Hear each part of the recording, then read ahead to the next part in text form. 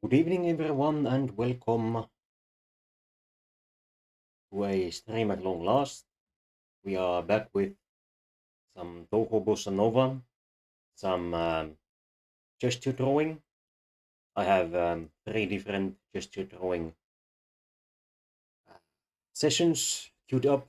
One of them is about um, hands, the second one is about feet, and the, the third one is about And after I have uh, drawn these sessions, I would again like to do a bit of an anatomy drawing on top of the last uh, gesture drawing, which in itself has um, 10 minutes allocated to it.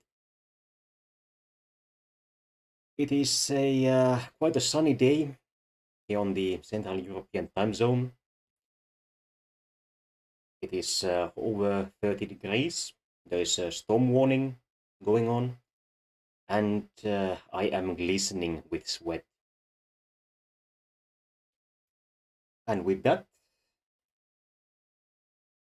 let's start drawing. The first one is hands. Cat's claw thing going on. Might notice that I'm using a uh, larger brush than I previously have. That is because I uh, I've been playing around and I noticed that um, larger brushes actually make it uh, somehow easier to, uh, to sketch.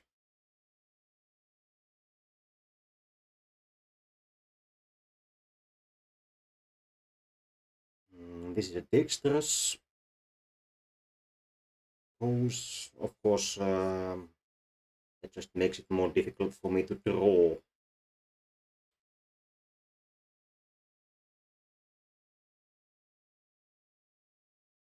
But perhaps um, more interesting as well.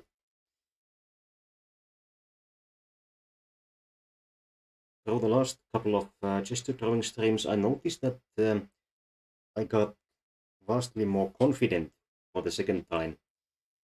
Uh, this might be the case for you as uh, someone who might be self-conscious about gesture drawing as well. I, uh, I suggest just doing it uh, when you're doing it online, there's uh,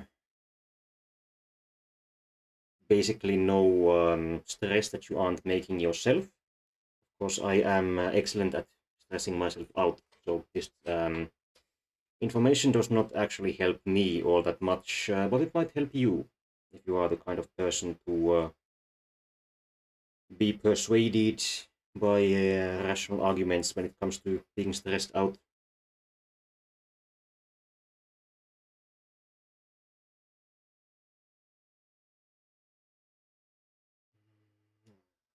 I can barely see the fourth fourth digit there.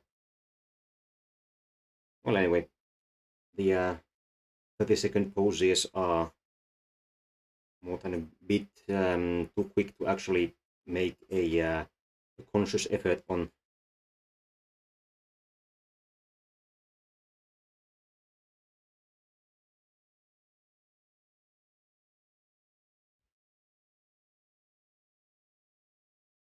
I'm honestly um, quite happy with the uh, job that I'm doing here. I don't self-identify as an excellent uh, hand drawer, but uh,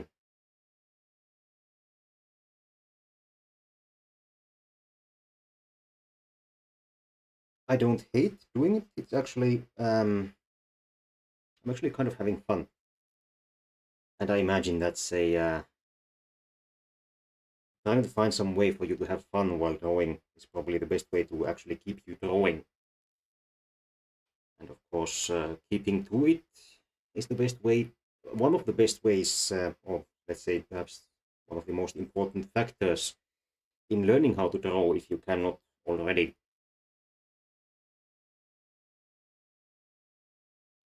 Um, I'm sure that there are actual um, factual differences between different uh, teaching methods so just drawing as much as you can might not be optimal, but uh, you do have to draw a lot to practice I'm not one of those people who think that um, everyone can do anything uh, as easily as anyone else. I think that's um, not factually founded. It's certainly not factually founded for uh, languages. No, see, there's uh, uh, sort of an unknown factor that gets called um, linguistic aptitude, where just some people have an easier time learning languages. You can uh, get this result experimentally. Of course, the first explanations for this would be that uh, the usual suspects, that is um,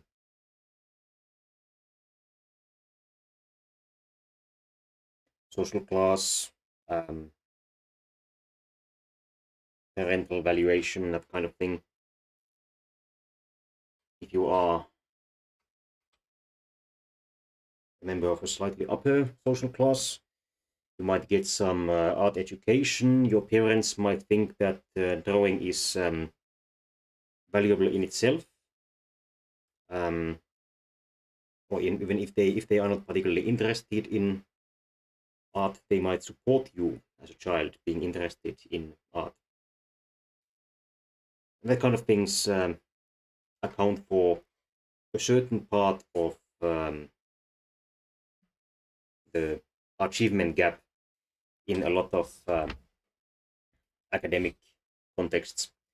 However, these can be controlled for as they are uh, known factors.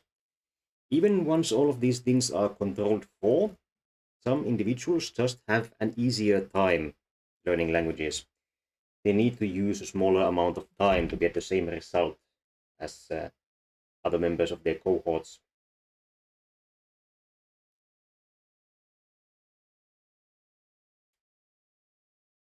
I could easily imagine this being the case for art as well. I'm not an expert on that topic, but uh, I could easily see some people simply having an easier time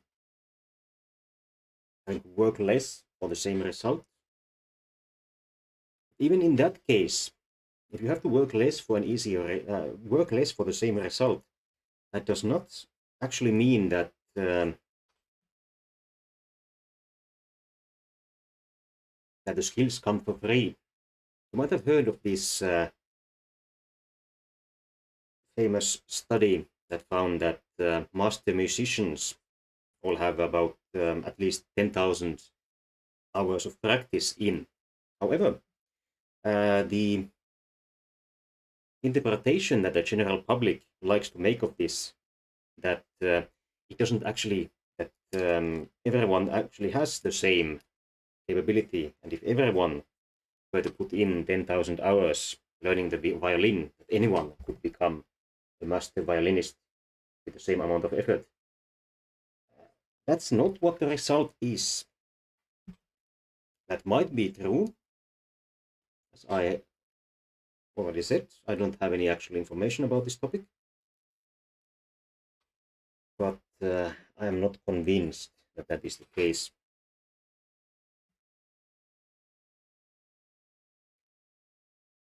So even if you are, even if you have a um, an inherent advantage, you do have to work to take advantage of your of your advantage. Take advantage of your advantage. Yeah. I imagine that I have uh, quite a nice um, linguistic linguistic aptitude. There are tests for that. Uh, however, I have never taken part in any of these. However, I speak between um, 6 and 16 languages, depending on uh, how well you have to speak one to point to count. And that's not huge. You know, there are these uh, assholes who just learn a language in two weeks. I'm not one of those, unfortunately. Although, my understanding, most of those people are also have a massive uh, institutional advantage. Uh, the one that I have heard about was uh, a professor of um, Uralic linguistics who already spoke most uh, Uralic languages, and uh, he managed to learn Votic, um, the Baltic Finnic language spoken in uh, the area where St. Petersburg currently resides. Uh, this is an, a moribund, almost dead language, as you could expect from a, uh, a minority language in an area with the historical capital and the current uh, city of millions. That kind of thing tends to happen. And this uh, professor managed to learn Votic without making any sort of traditional effort. He just went to Ingria, the uh, region where St. Petersburg and uh, the votes were to be found. He stayed there for a couple of weeks and um, he learned the language just listening to the people. Although, as I said, as this man already spoke, let's say at least 10, probably 15 Uralic languages, that doesn't mean that uh, just anyone could, would be able to do it. Even uh, someone with a uh, quite high um, linguistic aptitude. As you might know from other contexts, uh, kind of skills built on themselves I have an easier time learning languages now than I did, uh, for example, as a teenager. I have better methods, I have um, a better, let's say, mental library to draw upon. For example, uh, I find uh, Japanese and Russian both relatively difficult uh, languages to learn, largely because out of the languages that I do know, they are outliers in the sense that I do not speak many or any uh, languages related to them. So I can't pull out of a uh, common vocabulary or grammatical library in the same way that I could, for example, for French, which I speak poorly. But uh, as I speak Latin, Spanish, and uh, Italian, all of them relatively well, I am able to connect things that I learn about French into this milieu of grammar um, and vocabulary, which makes it it makes it easy easier to remember things. It makes it easier to conceptualize things. Course, this is also the case for um, Sumerian, for example, as well. I cannot uh, draw upon any pre-existing information about uh, the Sumerian language. However, Sumerian as a dead language is uh, taught in um, a different way. So my experience, this doesn't um, really come to question in the way that uh, trying to learn a language to the level that you can actually use it in uh, everyday life uh, works.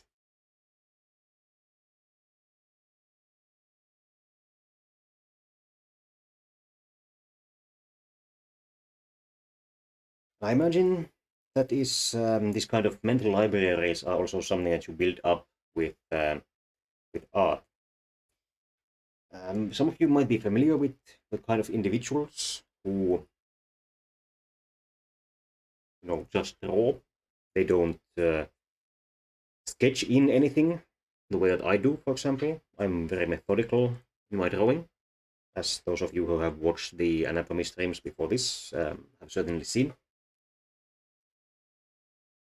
However, even the people who can just draw have to somehow have this information in their instinct.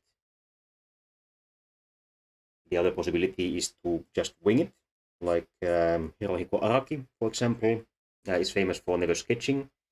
He's also famous for drawing the kinds of poses that are physically impossible for people to contort into. Uh, fortunately for him, this has become his um, aesthetic trademark. And as such, if anything, it seems to be a positive for him rather than a negative.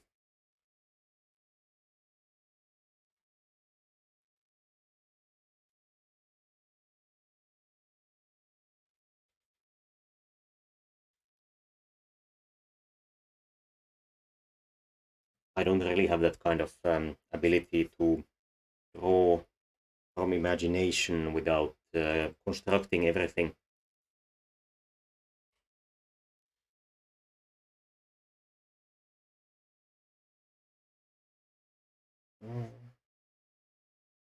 Five minutes is getting to be um, surprisingly a lot for uh, hand drawing. I'm uh, more accustomed to doing uh, gesture drawings of the entire body. You have um, a lot more things to draw. I imagine I should um, stop making these quite so sketchy, less blocky, use um, use more detail, but um, that's something that I imagine I'd have to get um, accustomed to over time.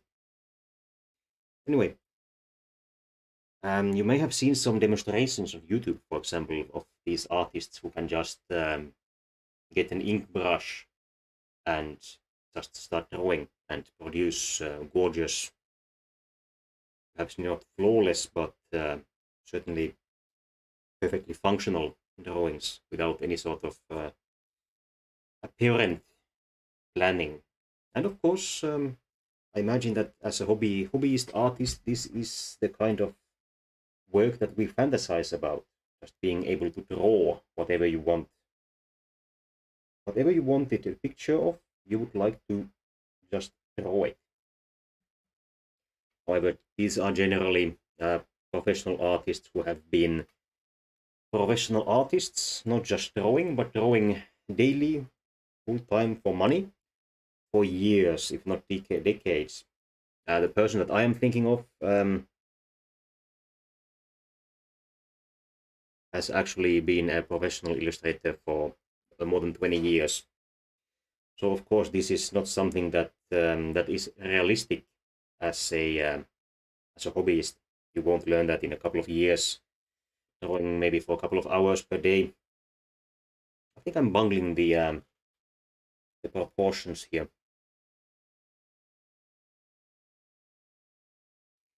It looks horrible, but uh,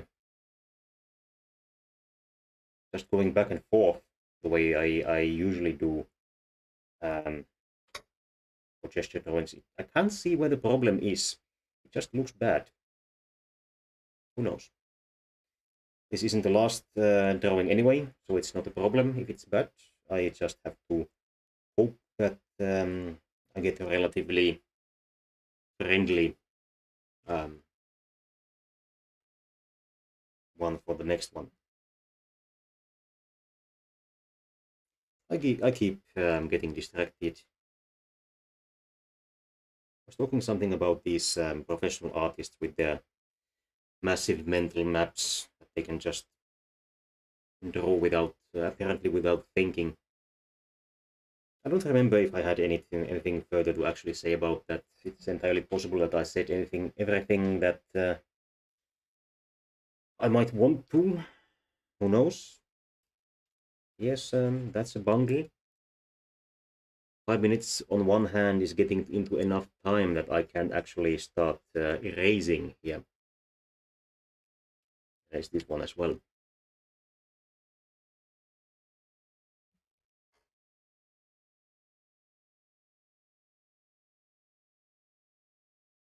This guy doesn't actually have a visible um, wrist tendon. If I recall correctly, there are actually uh, people who do not have that. It's a kind of, it's supposedly a kind of um, atavism, a kind of um, anatomical feature that no longer quite serves a purpose. Some people are just born without it. In the people who do have it, like myself, it supposedly doesn't really do anything. Another possibility, of course, would be that this person is uh, uh, not quite lean. Um, he might have um, a bit of fat covering his wrist here. He doesn't look um, overweight to me, to be honest. So it might be this kind of um, disappearing anatomical feature.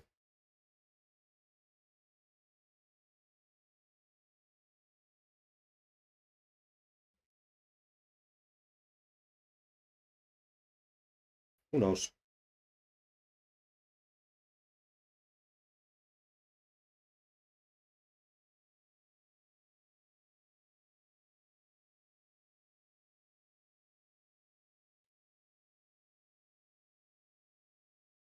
So, um, if you are a poor enough artist want to take uh, advice from me, I have a couple of bits of advice as we speak.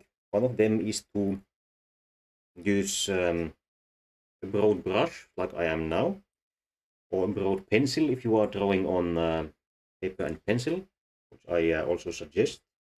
It has certainly helped me um, draw more aggressively at times. Really, drawing a variety of things is probably one of the best things to do if you if you want to practice art. Don't just uh, focus on drawing uh, your waifu do different things. Draw landscapes, uh, buildings, animals, uh, basic geometric shapes, that kind of thing. This is the 10 minute one. So now I am going to make consciously make as good of an effort at uh, sketching this uh, man and woman shaking hands. They are quite venous um, I would interpret that they are aging individuals, perhaps not quite elderly, but uh, certainly middle age or older. But uh, whether or not that is the case, I can't really say. So, the hands coming up something like this. Then we have the uh, pinky finger goes off by its own a little bit. And there we mostly have the um, the woman's hand blocked in. Then we need the man's hand. And this one has a bit of an extreme angle. Uh, this is kind of situation where the kind of um,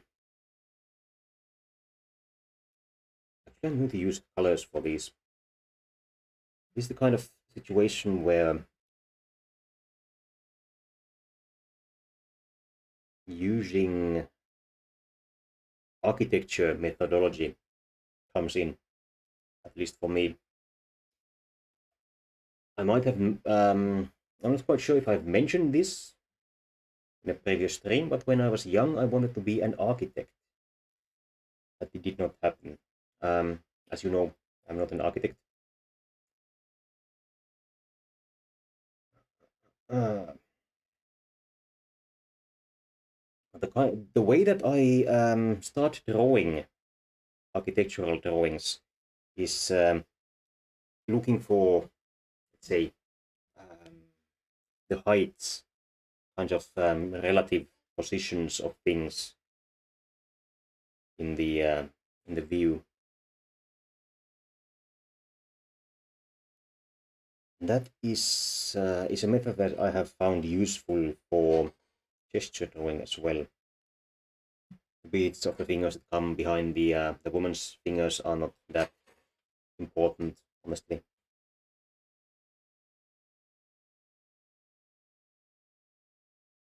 So here, that's um, an example of how learning to draw something can help you with something else.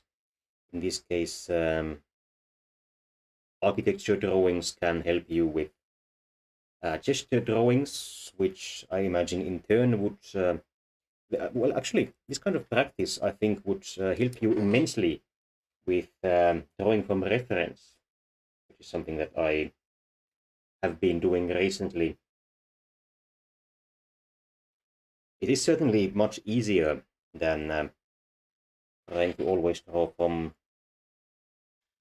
uh, from imagination. Certainly for someone like myself who likes to imagine extremely um, dramatic poses and uh, camera angles. Making a conscious effort to avoid drawing from uh, imagination has been uh, quite helpful.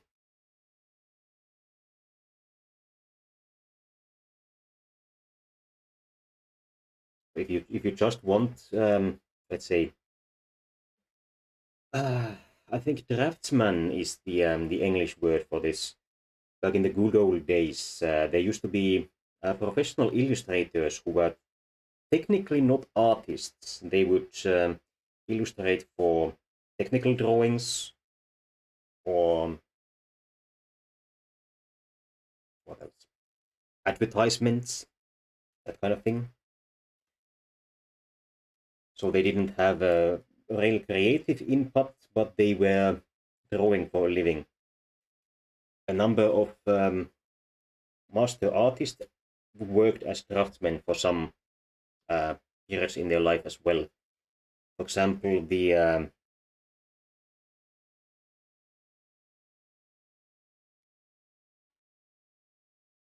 the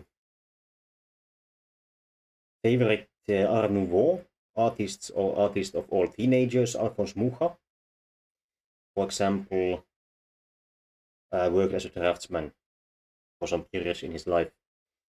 Uh, if you go to the uh, Mucha Museum in Prague, Mucha was uh, Czech, uh, you will be able to find some of his, um, you know, entirely commercial work.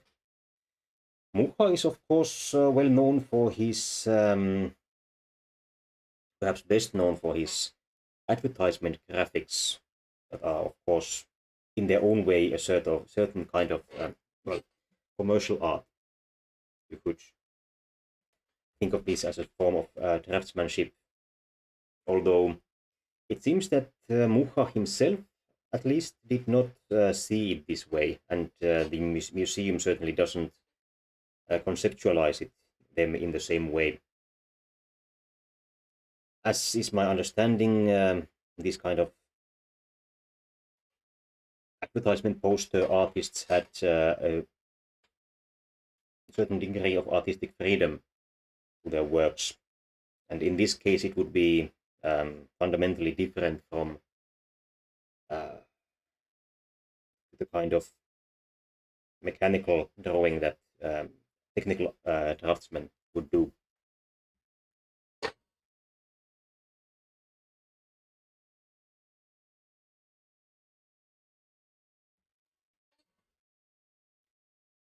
So by this point, I have actually penciled in everything. At this point, I am going to start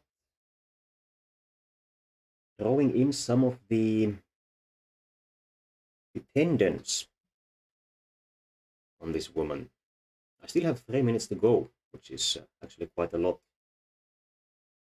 Surprisingly a lot, actually. Four.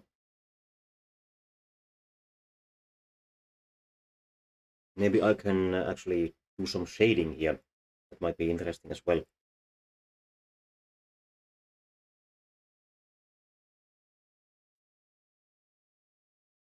We have some um, vague shadows running down here along the tendon of the index finger and left of that everything is in at least mild shadow. There's another maximal shadow here around the uh, base of the thumb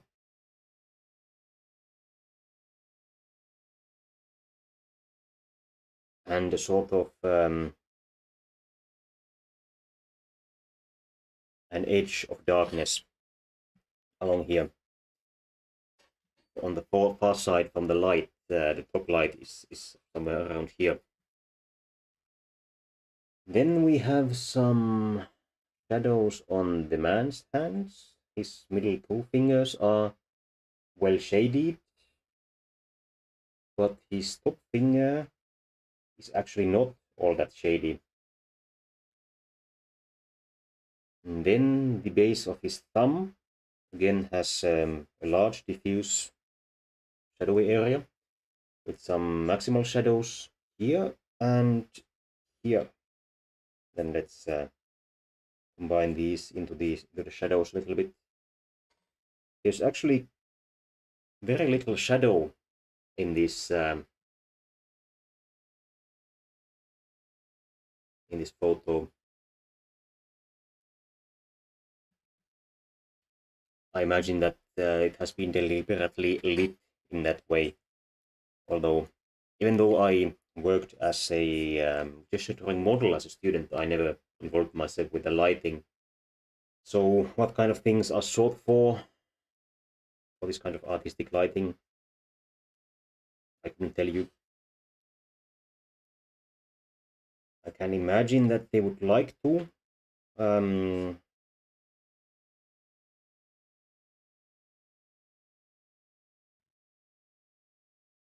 strengthen some of the contours, but uh, how exactly, I unfortunately don't know. I don't know how to do a good job exaggerating the contours on uh, human hands with lighting. I just don't know how to do it. I can't really analyze it, even when I see it myself. So, there we have uh, the 10 minutes.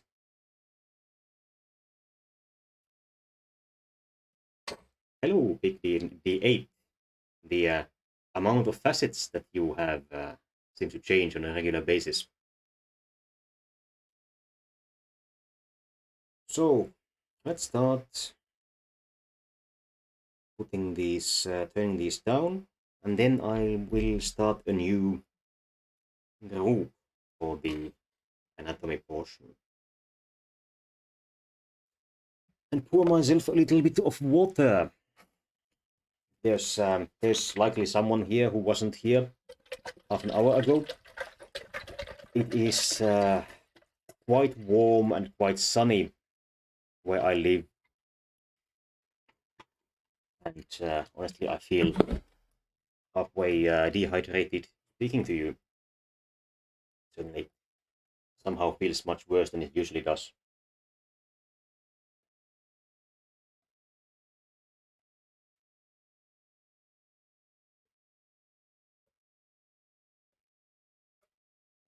All right.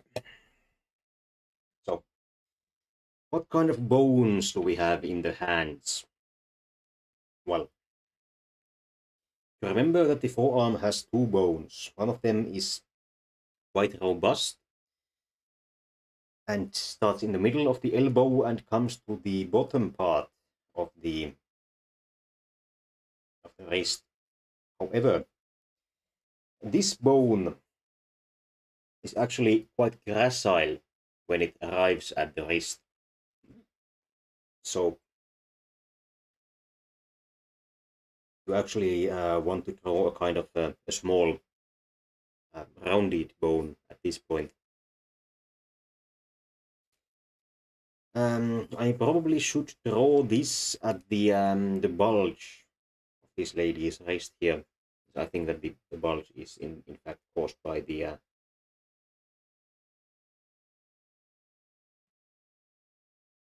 by this bone.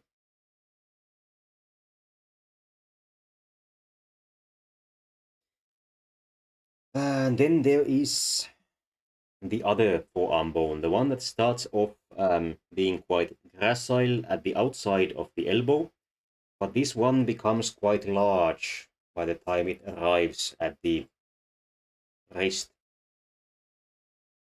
So the forearm bones kind of um, switch places or switch roles. The massive one becomes uh, small and the small one becomes massive when they arrive at the wrist.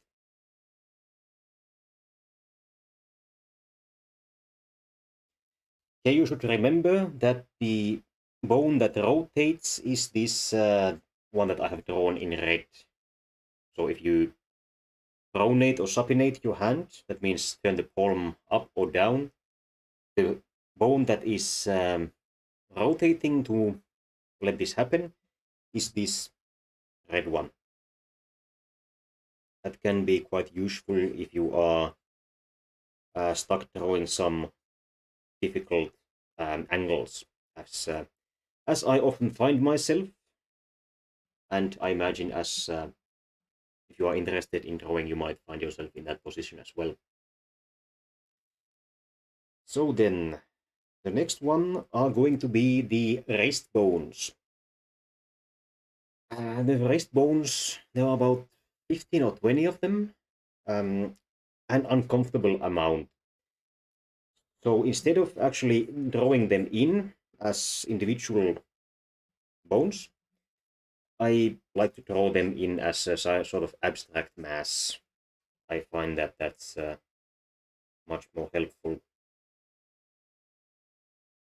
You might want to do this as well. And in particular, if you draw them as this kind of um, rounded puck, like the half of um, an ice hockey puck, uh, this helps you think of the way that the that the wrist actually articulates. Uh, it can move in all cardinal directions, true, but um, considering the cardinal directions separately, I think is uh, helpful to working through whether or not the rotation that you are you are trying to draw is actually possible. Again, of course, if you are Hirohiko Araki or one of those people who think that uh, you don't need to make possible poses for any reason, you can just feel free to ignore this advice. But uh, I imagine if you are either extremely confident in your artistry or much better at drawing than I am, you are probably not going to be listening to my, my advice anyway. So then the next phase are the, I think these are called phalanges. These are the uh, first finger bones. These exist inside of the inside of the hand. And they come up to around here. So you might notice that there is an area around the knuckle that is actually already the first finger bone. Well, once we get to that, I'll I'll talk talk more about that. It's actually uh, I think it's quite an interesting topic. You actually want to partition out uh, five bones that start at the um, the puck here. One of them is the uh, thumb bone. In this case, um, well, the thumb bone is about uh, two thirds of the length of the palm bones, let's say. However, in this angle, the palm uh, the first thumb bone is actually uh, turned in a different direction than the uh, palm bones are.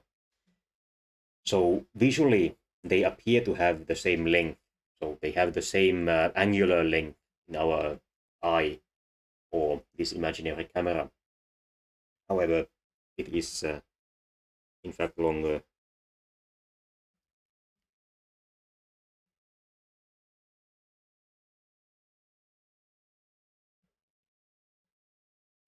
Least it should be. Well, I'm going to go with the uh, with the sketch that I have. It's going to be good enough.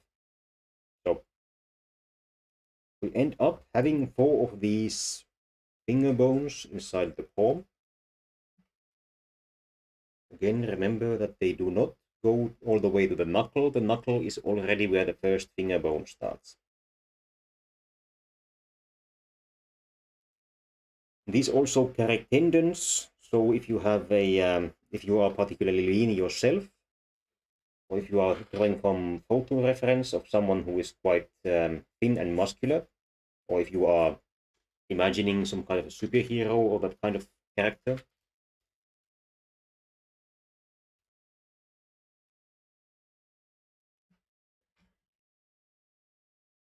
You might want um, to have lines on the outside uh, following these bones.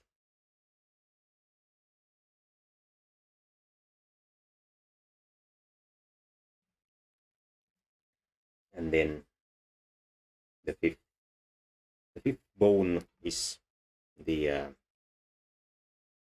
thumb bone. And then I am going to do the same on the other side. Think partitioned like this is going to work well enough.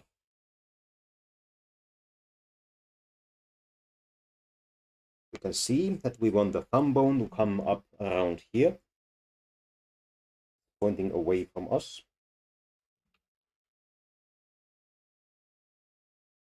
If you want to use these kind of um, contour lines, um, the way that I did it here, I started uh, having them curve on this side and then cross over and curve on the other side.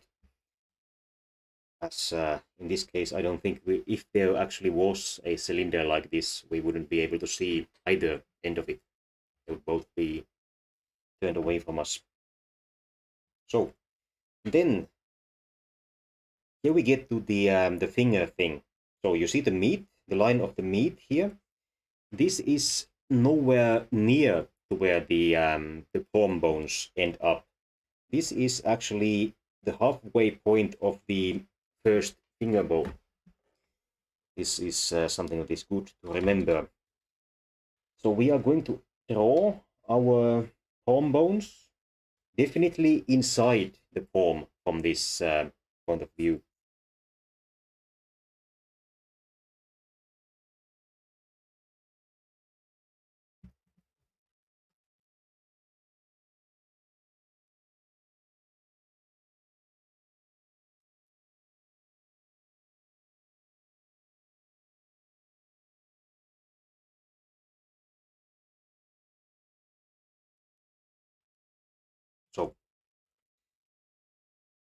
Uh, then let's uh, start getting into the finger bones.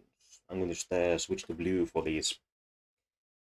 There are, in fact, uh, three finger bones.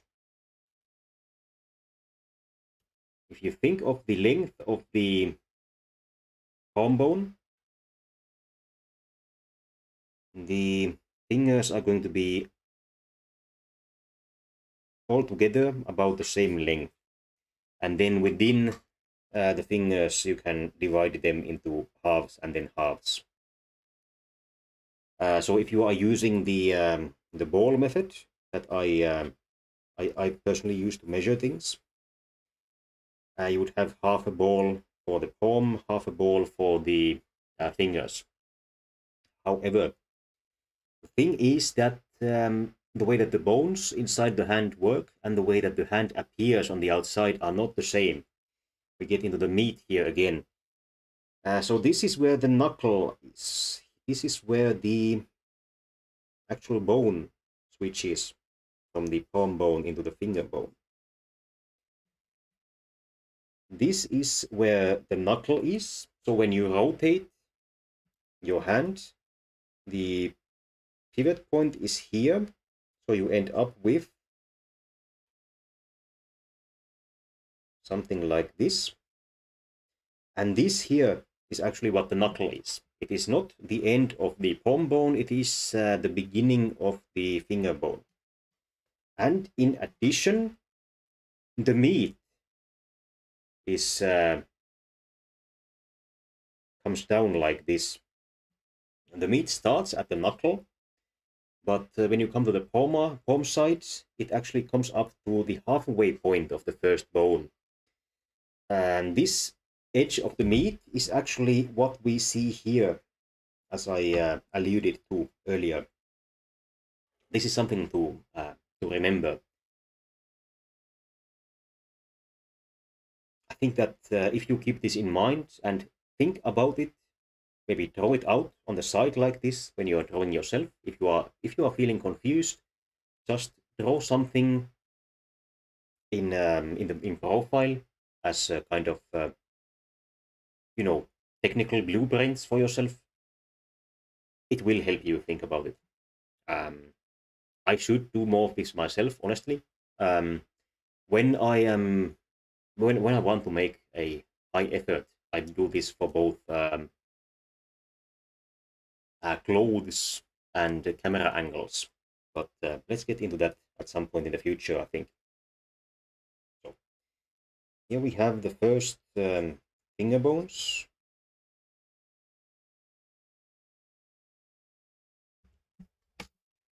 And on the other side, the meat will come to somewhere around here and the first finger bones will end around here.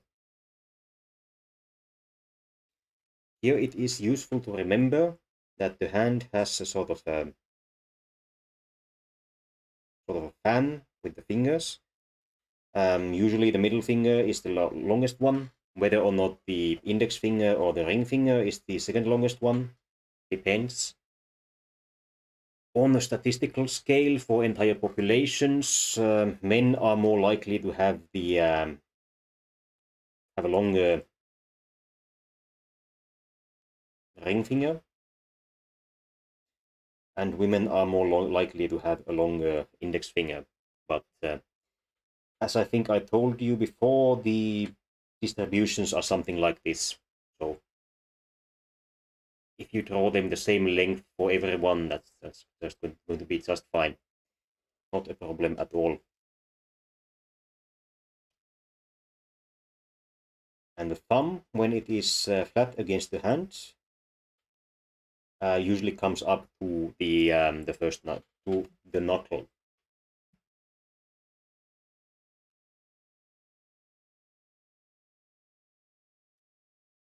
The thumb as well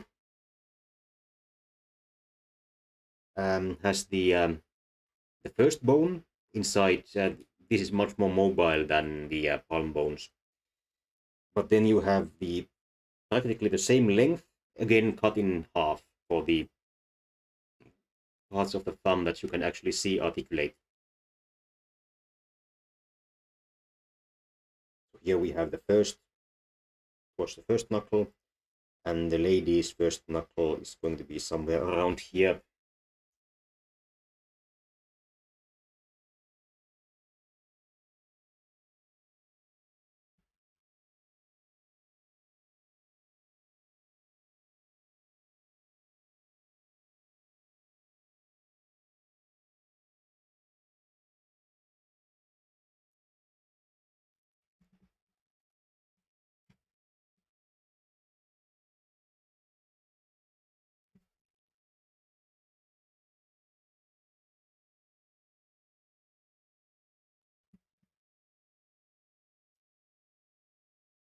You could conceivably just um, draw these as a, sort of series of um, lines, like a, a stickman hand, and then um, just add the meat. This is probably uh, well enough for distance shots, but uh, since we are doing a kind of uh, a detailed drawing here, let's not uh, go the easy way. Alright, so at this point uh, we are down to the second finger bones. Switch to red again. For the um, for the thumb, there is only one of these. For the other fingers, there will be two. I'm going to use uh, color contrast again to remind you a bit of the positions of these.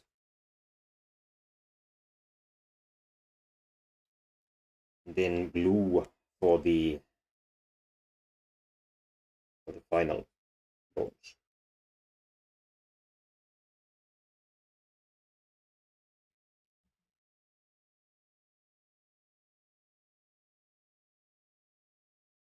This is what the bones in the hand end up looking like. It seems intimidating, but uh, it's not impossible to successfully draw hands um, in an analytical method like this without um, just throwing hands for hours and hours and hours, not knowing what you're actually doing. Um, the way that a lot of advice for beginning artists is, I think this is um, a problem of people who actually have learned to draw, draw like that. Um, partially, of course, they will teach you how to how they did it, but uh, this is not necessarily the best way to learn it. And of course, then there's there are the uh, cargo cultist individuals who uh, think that more effort directly translates into more progress. Of course, this is not the case. There are better and there are worse methods of learning. More effort is better than less effort, but uh, less effort directed in a better way can easily be better than a larger amount of effort put to use in a, in a worse way. Uh, using languages as an example again, uh, the way that um, many people attempt to learn vocabulary, for example, is reading through these kinds of vocabulary lists. It just doesn't work. You are basically wasting your time. If you are learning a language course, for example, and you have these vocabulary lists that you want to or have to learn, learn them into flashcards. This is exactly the kind of um, use case that flashcards are perfect for. Uh, not only the method of um, spaced repetition, spaced repetition works for everything. Thing is that uh, using flashcard software for other kinds of um, learning other than vocabulary takes more effort and intelligence from the learner and unfortunately, um, particularly when it comes to these kind of uh, self-help gurus on YouTube, they unfortunately do not necessarily have either the education or the intelligence to be talking about what they are talking about. I've seen many of them uh, talk smack about, uh, for example, Anki, the popular uh, flashcard software, without actually understanding anything about what they are supposed to do. This would be like um, not reading the manual to a technical device and then complaining that you can't use the remote. Not something that uh, would endear you to anyone who actually knows anything about the topic. But uh, in my opinion, or my experience, the kind of uncles and grandpas who cannot figure out um, remote controls generally aren't the ones uh, pretending to be experts on the topic, fortunately. So here we are done with the bones. Let's turn that um, turn the opacity on all of these down a little bit and then look at the the bow, um, the meat. What kind of meat do we want to draw in a hand? Um, there are basically two larger muscles or muscle groups that uh, occur in the hand. The um, the muscles that control the long fingers are all situated within the uh,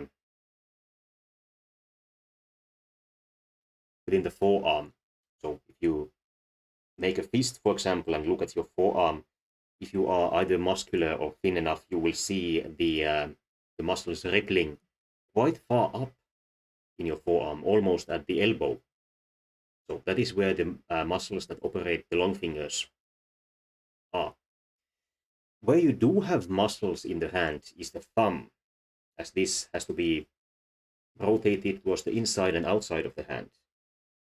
And for this reason, we have sort of a cotton muscle on the outside of the thumb. So this does not actually uh, build up that much muscle or mass in the hand. However, on the palm side, you actually do have a massive muscle. This attaches to the base of the first bone, of the first finger bone of the thumb, and to the wrist here. So you have um, a mus muscular mass, something like this. This ends up being almost identical with the uh, fleshy mass that we sketched in the uh, beginning in the chest drawing at the beginning.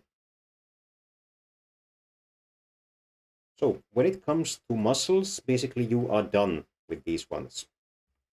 And of course you have the curtain muscle here on the other side, but uh, it's difficult to see from this angle. Other than that, most of the fleshy mass in the hand is actually fat. There are there's one very large fat pad in the hand, and that is along the uh, the small finger. It ends up attaching something like this.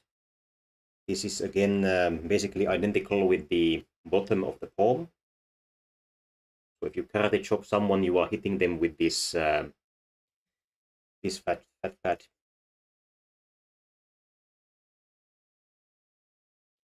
This is again, this uh, would be somewhere around here for the other side, but um, it's not really visible. Then, perhaps the most troublesome of the meat of the hand is uh, the meat between the knuckles.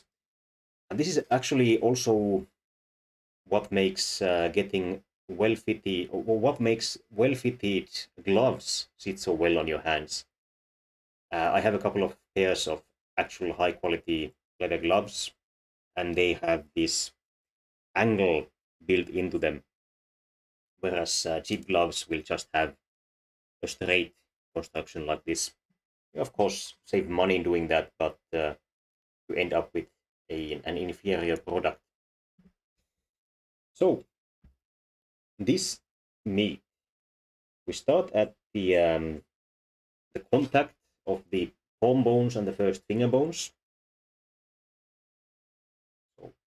out here.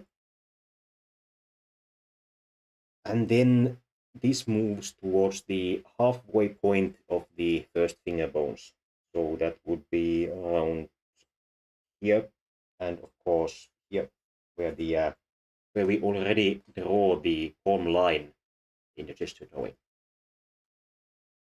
So what we end up with is an angled plane that uh, will actually fit the creases of the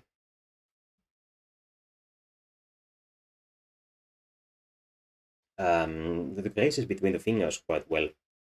So if you are having trouble understanding where the creases uh, at the start of the finger come in, just draw this uh, this fat pad in, and then you will know.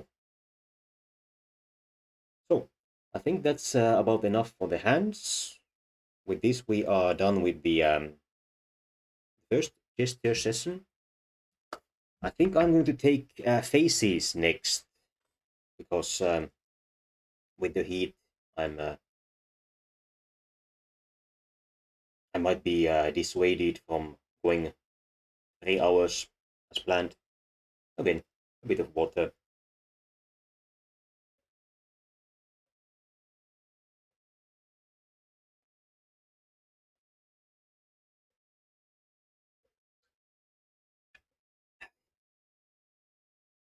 I hope it's just the um, heat, exhaustion, and uh, dehydration that are making my throat feel weird. I don't really have any sort of uh, warm up routine or method for taking care of my voice. I guess I have uh, have a good enough instinct for how to keep, um, keep my voice in order. However, it doesn't seem to be working today maybe it's just uh, an effect of uh, taking a pause for a couple of weeks. Who knows? But uh, I think after hands, uh, faces will be the next most interesting one.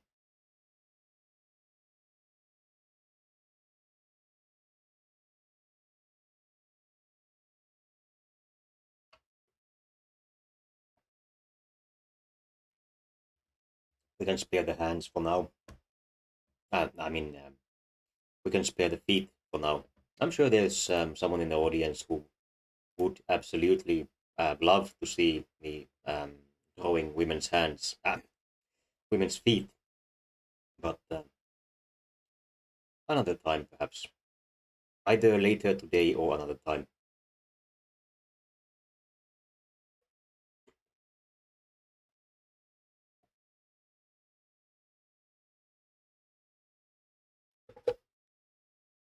So there's a pitcher of water down my gullet. Let's get to work on faces.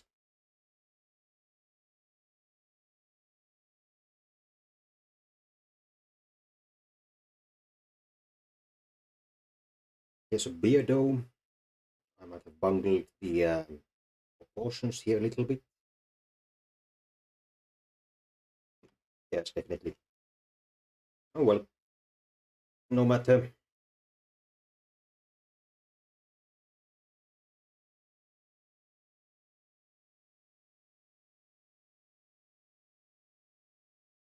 Mm. This is um, a difficult face to draw, I would say. It's um, very pursed lips. Um, imagine a middle-aged woman doing the um, the PogChamp face, and that's uh, that's what you have.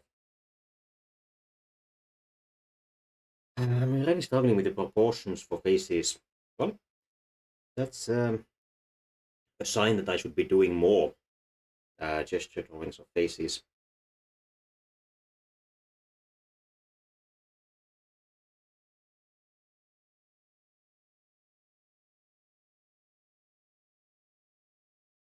This um, this lady might be perturbed, perhaps uh, confused. I could um, imagine someone making a face like this even uh, if they are having fun, but uh, who knows? Bit of a hook nose there. Ah, this time just looking off to the side. Nothing difficult here. Again, um, bit of a younger woman this time.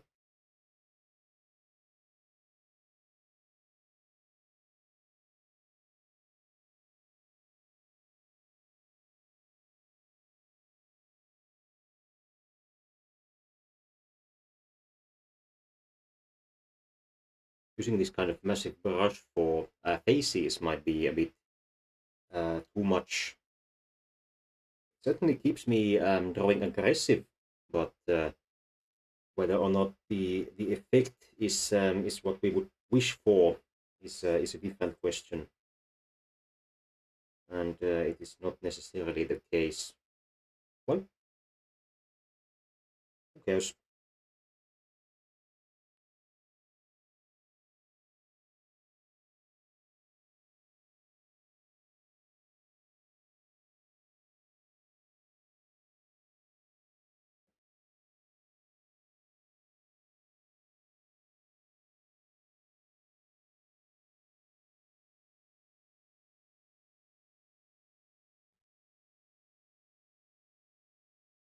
is uh, looking a bit like Baron von Munchausen, uh, the famous lawyer. I enjoyed his book um, when I was young. I haven't read it in decades, so I can't say uh, if I would still recommend it, but um, it's a classic. You can probably find it in a library. Or it's probably old enough that uh, if you speak a major language, you might be able to find it just on, uh, on the internet for free. Oh. An extreme pose this time. This man is looking quite a bit down.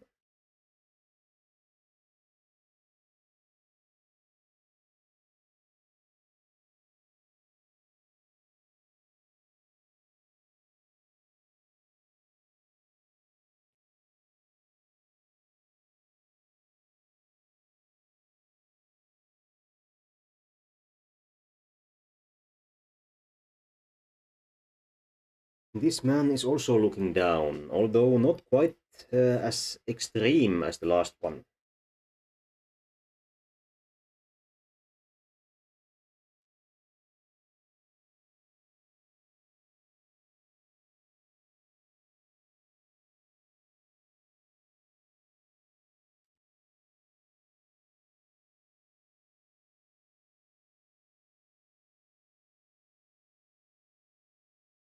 Thirty seconds is quite little for a face, I find. Well, of course it's quite little for anything, but uh, perhaps I'm somehow accustomed to the other kinds of gesture drawings by now. Certainly the, the hands uh, didn't seem all that stressful for me.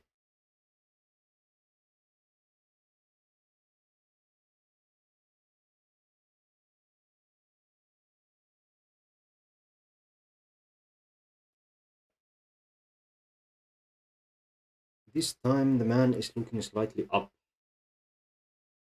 It's going to make uh, drawing his nose quite difficult, I fear.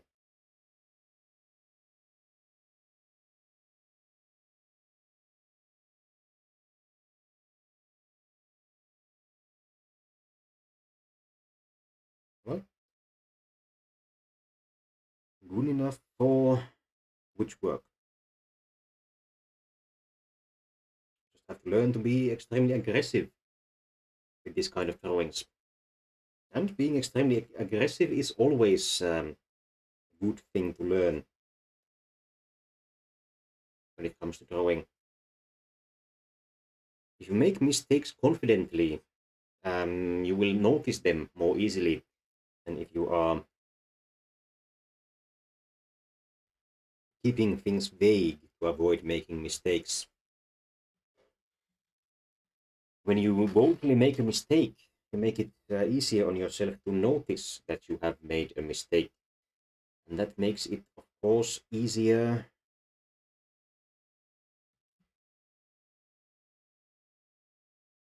easier for you to correct it. There's nothing wrong with bungling things. The problems start when you don't notice that you have bungled something. You can always um, always erase. Well, of course you can't when you're doing uh, gesture drawing, but um, in principle you can always um, erase. No reason to torture yourself when you are just uh, drawing for fun.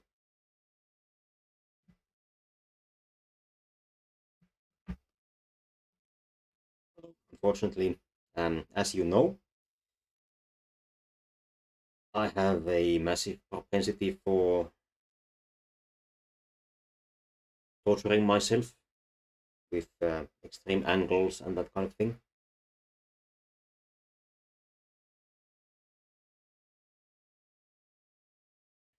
Yeah, I think if you if you want to um, just draw for fun, you have to learn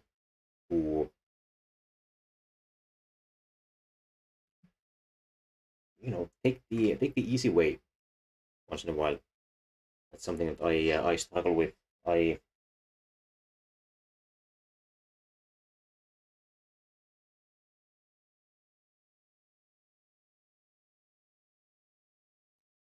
I almost always overextend unless I am uh, drawing from reference. And of course, uh, that just means that for me, drawing from reference uh, is something that I should be doing more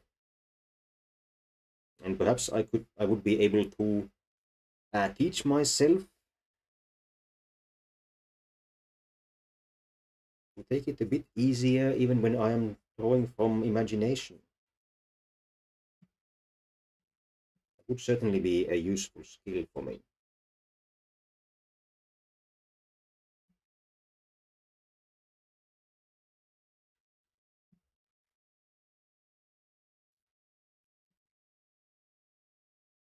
This person is uh, somewhat frowning, I think. Certainly moving their um,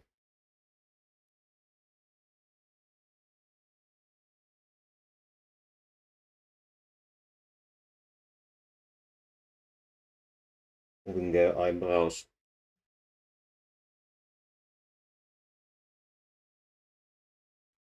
She had a, quite a cartilaginous nose.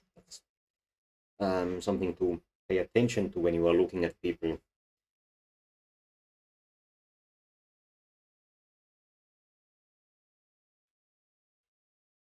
This guy is scrunching his nose up quite a bit. I'm actually going to concentrate on that.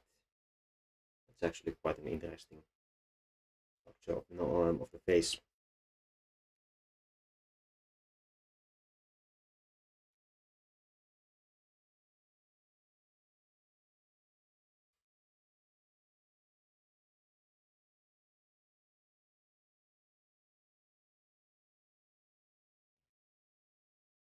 Then a relatively slender nose.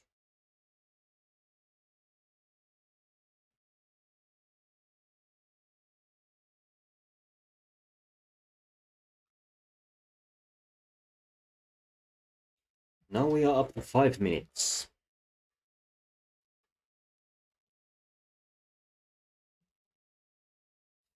Mostly a head-on pose, but um, making a bit of a face.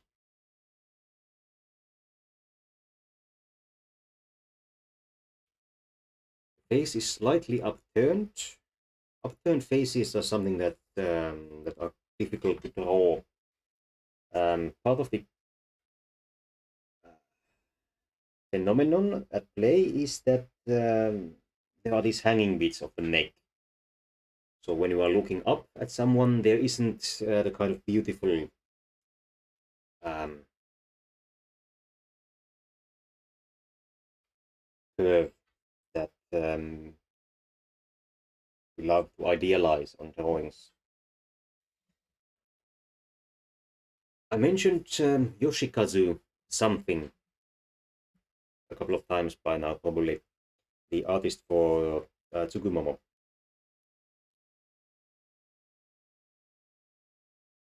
He's someone who loves to draw in um, sketch. You can see some of his uh, sketches on Pixiv on his Pixiv page, uh, where you can see that he has uh, gone to a, a, substantial effort in order to uh, get the anatomy right on his characters. Uh, I recommend looking him up. If I remember, I will link his uh, his Pixiv in the chat at the end. If I don't, uh, you can just Google Tsugumomo and you will be able to find his name and um, probably his Twitter, probably his Pixiv, all, all sort of things. So now we are at the hmm. yeah, this is probably the um, parceling that I actually want here. However, once again, she is looking slightly up, making it difficult.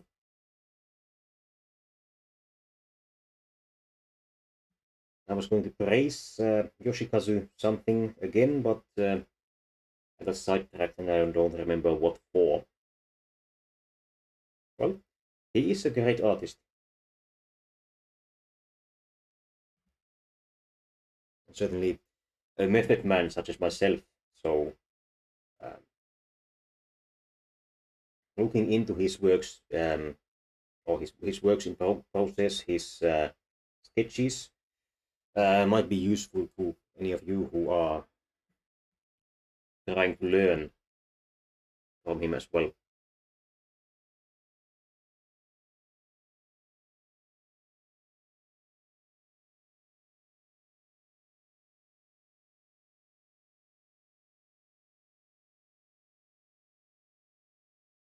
I think this phase would have been uh, quite good for the uh, final pose.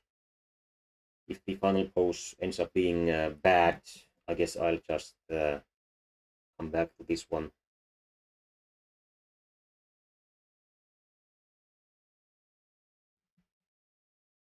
There's enough uh, movement here that there's actually something to think about. And the, the pose is relatively easy.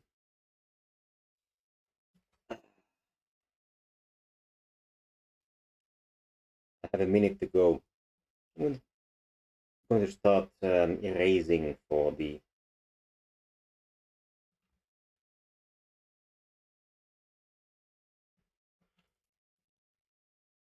something that I um, often catch myself um, not doing a good enough job at is uh, extremes. Although I enjoy torturing myself with extreme poses, I often do not draw them extreme enough. This is something that uh, I would recommend you pay attention to and uh, correct while you still can. This is actually was happening to me in this case as well. The um, screen right part of her face was uh, not being pulled enough, although it uh, it should have been, as she is making a face.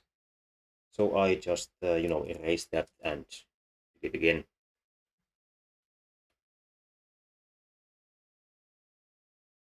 Another extreme pose here. Here we have the chin again. Oh yeah, what I wanted to talk about um, Yoshikazu, something, was uh, what he does with the chins, the chin line.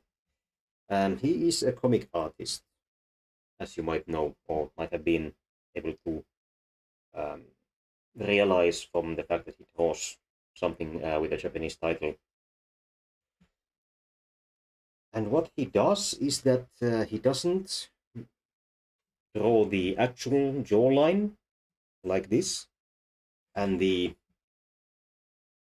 perhaps not quite um, as aesthetically pleasing uh, joint here between the uh, the hanging meat and the mandible and instead what he does is um, he just draws a um, an attractive line here ignoring the anatomy to make it look better. And I have to agree that it looks gorgeous. He does an amazing job at uh, doing these kind of fake fake angles. If you have heard someone talk about um, knowing the rules, so you know how to and when to break them, I think this is um, this is a perfect case of this. So Yoshikazu, something is clearly extremely methodical. He is great at drawing. He knows exactly what he should do to be realistic. However, he knows even better what he should do to look beautiful. And that is what he does. That is something uh, as a hobbyist illustrator, I imagine um, anyone watching this for tips and tricks on how to draw um, could take use of as well. I'm starting to draw in some of the uh, structure of the face instead of just drawing from sight. Because this is uh, this is a difficult pose and I am finally having enough time. Maybe 30 second uh, drawings, it is just plain impossible to do this kind of uh, construction on gestures.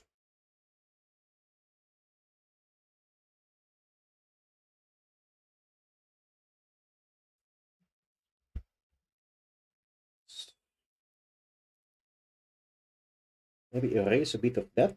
Um, there is a line running like this, but uh, the contrast, of course, is not nearly as strong as it is with the outside of the neck.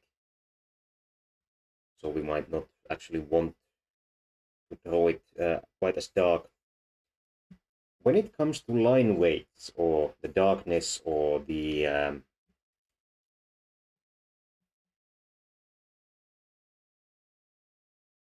thickness of lines, there are a number of things that you can communicate with them.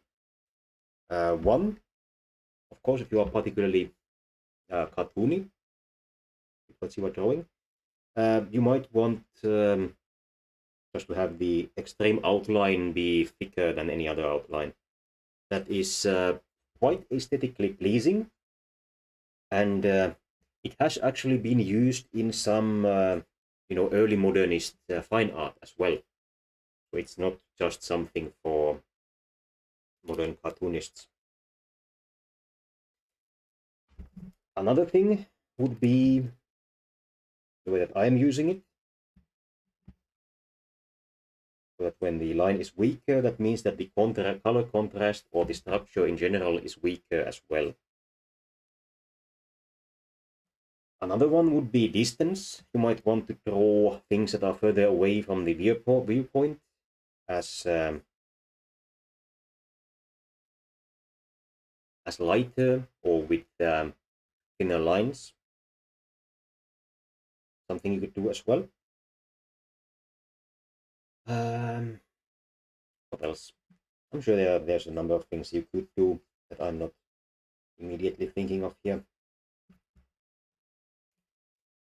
Oh, that was uh, five minutes. Here we have a bit of an extreme pose for the last one, but not too much. I think this will suit me just fine.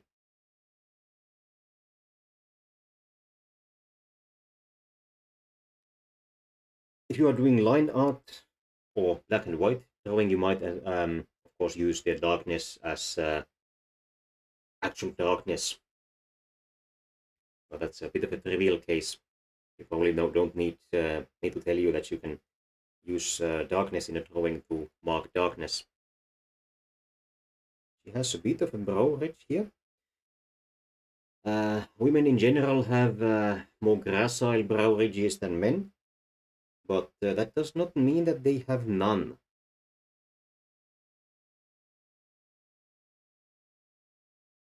That it is um, if you are drawing from life or photos or realistic imaginary characters, I think it will serve you well to remember this kind of um, generalizations are not never absolute.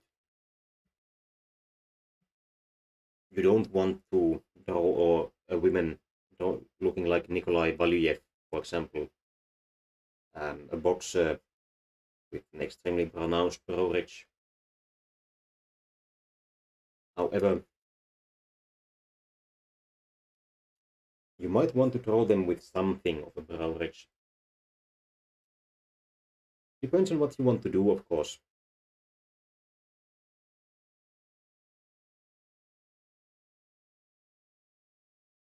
This lady appears um, surprised and alarmed.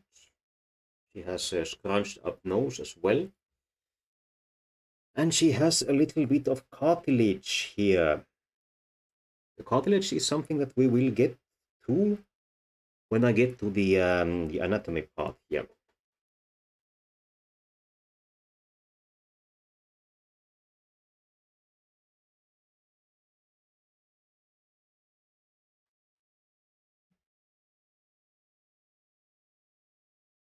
The cartilage of the nose is actually something that you can easily use to uh, differentiate between uh, imaginary character designs if you are drawing characters detailed enough to actually have visible nasal cartilage. It's not necessarily the case in these um, social circles, particularly. Uh, many people will want to draw extremely gracile waifus who might not uh, actually display a lot of the anatomical structures present in human beings. However, if you want to, it can be a good method. I think I've um, bungled this a bit. It, uh, the cartilage comes almost directly after the eyes, which are in themselves around here.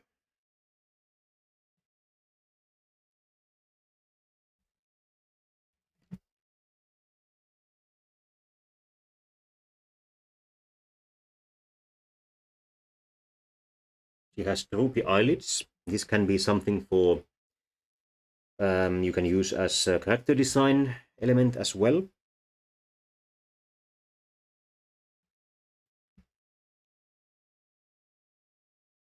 The tip of her nose is at the level of her pupil. So this is the kind of um, architecture methods that I was talking about earlier that I uh, I find useful for gesture drawing as well as architecture drawing that I would uh, suggest to you as well. At least try it. I don't think um, the other nostril will be visible from this angle at all, unfortunately. I would like to draw it in, but uh, I don't think that will be possible. Her cheek meat. There's a bit of a curve here. Um, where the mouth comes in. So let's draw that in. And her stage left side of the mouth is pulled up. This is going to be something relatively difficult for me to actually capture. But um, I'm doing my best.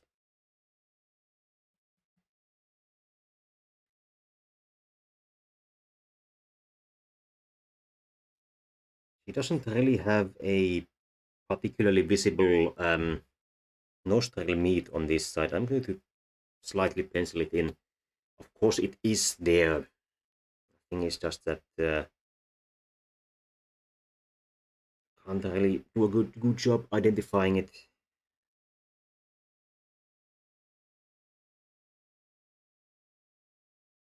Then we have some teeth.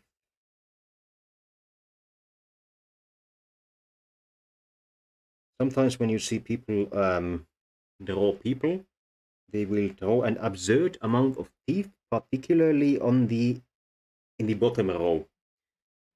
I don't know why they would do this, um, but uh, you shouldn't. It looks it, it looks downright silly.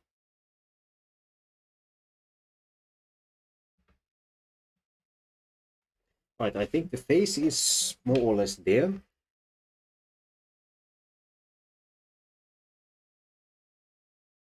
There's some hair, of course.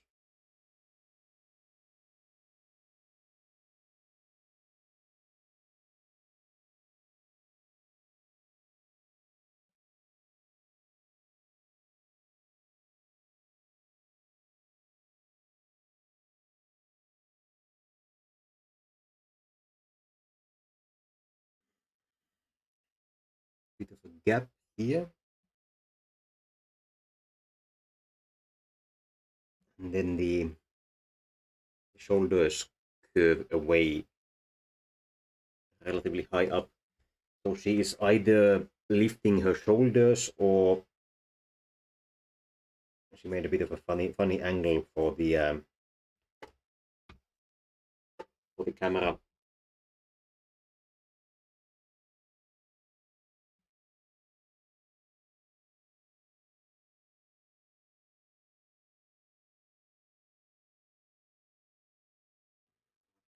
Here, there's some shadow here.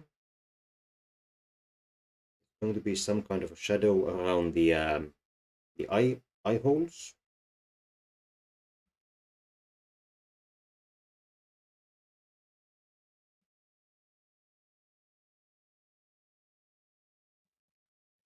I have uh, two minutes remaining. Shouldn't be much of a problem. Of course, this is a situation where I cannot absolutely cannot um, make fine adjustments with this brush.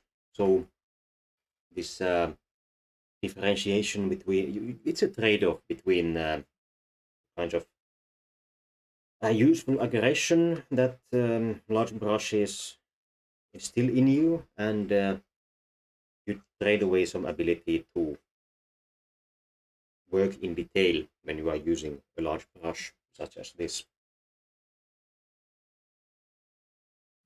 Of course, when you are not um, gesture drawing, and you have plenty of time,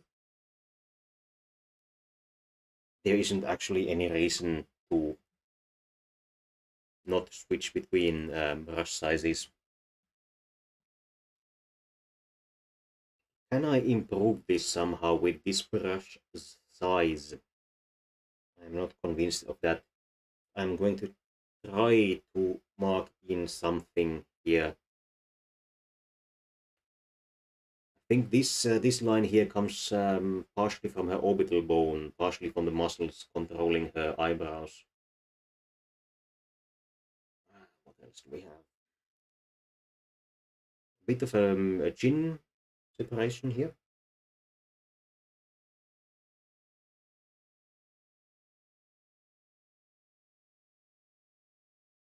The other side of her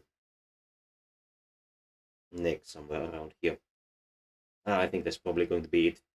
Um, 15 seconds remaining. I don't think it uh, makes much sense to keep going with this.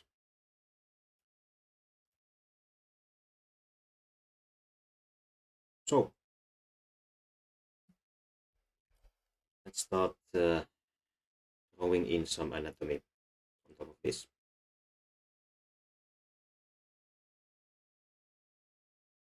What might you want to begin with? Well, from the previous uh, stream, some of you might remember that I like this um, ball drawing method with some cutouts. Of course, you have to imagine one on this side.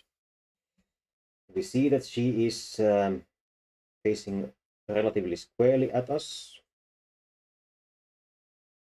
So you can add these um, helping lines um, almost uh, perpendicular. Then you want to connect them.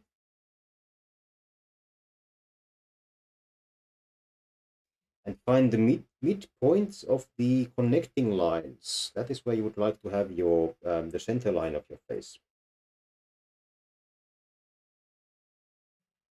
This has not um, quite happened in this case.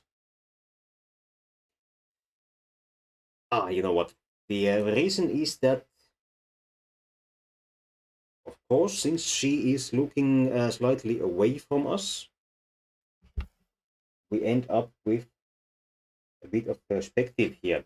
So we don't actually want to have our visual uh, median line for this.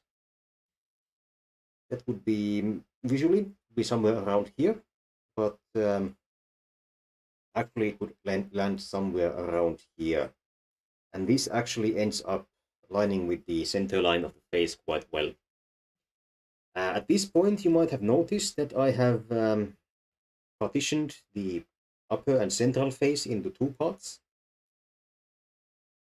I would like a third one with about uh, the same separation further below here. You will see that this is um, a bit of a scaling error here.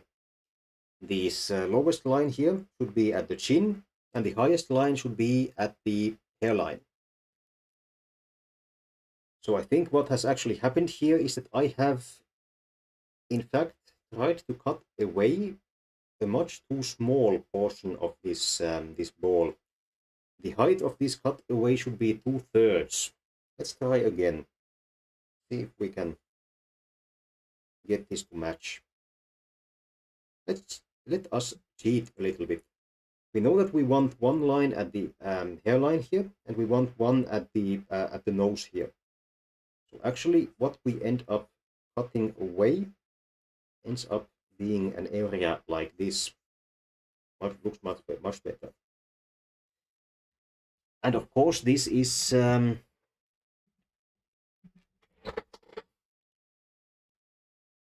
this can be a, a source of um, errors for you as well. So this might actually be a case of that um, problem where I have um, difficulties uh, being extreme enough is uh, conceivable. And in this case,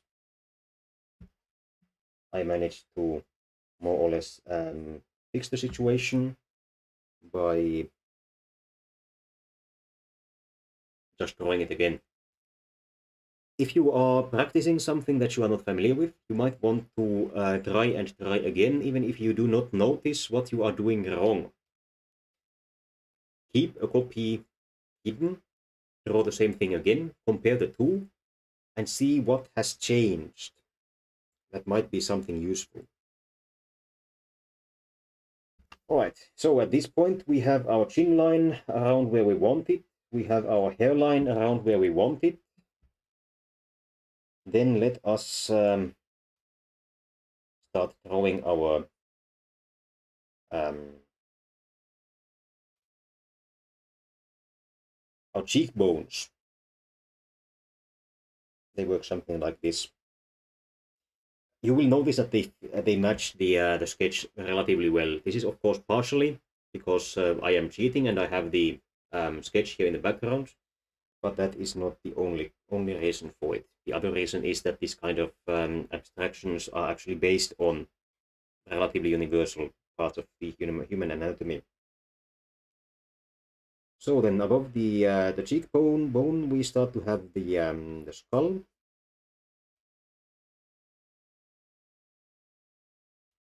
And we have the um, the mandible begins at the uh, the bottom of this cutaway here.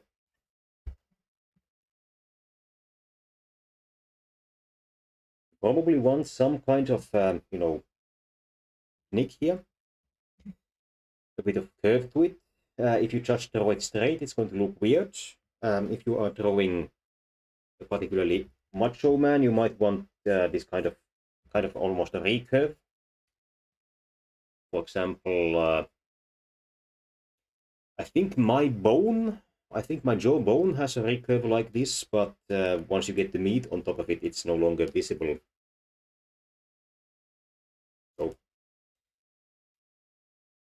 Then for the rest of the head, you mostly want to follow the, the ball that we established at the beginning. And then we have the neck, which attaches to the base of the skull, and the base of the skull is at the level of these uh, bottom points of the cutaway. So you want to have the, the neck attaching around here. Uh, this is something that's difficult to um, make use of when you are drawing extremely um, stylized characters. Humans actually have um, relatively robust necks your waifu might not, so you might not want to draw her having a, um, a robust neck. But let's um, let's actually sketch in a little bit of how the uh, um, how the collarbones might run here. You have the tendons that come to the collarbone. This one is being pulled a little bit straight as she is looking in the other direction. The opposite one is going to curve, but that is mostly not going to be visible because it is behind her chin. So there we have the uh, the absolute minimum of a um, of a skull form. So uh, we have these hel helping lines here. I'm going to start a new layer. Let's use red this time.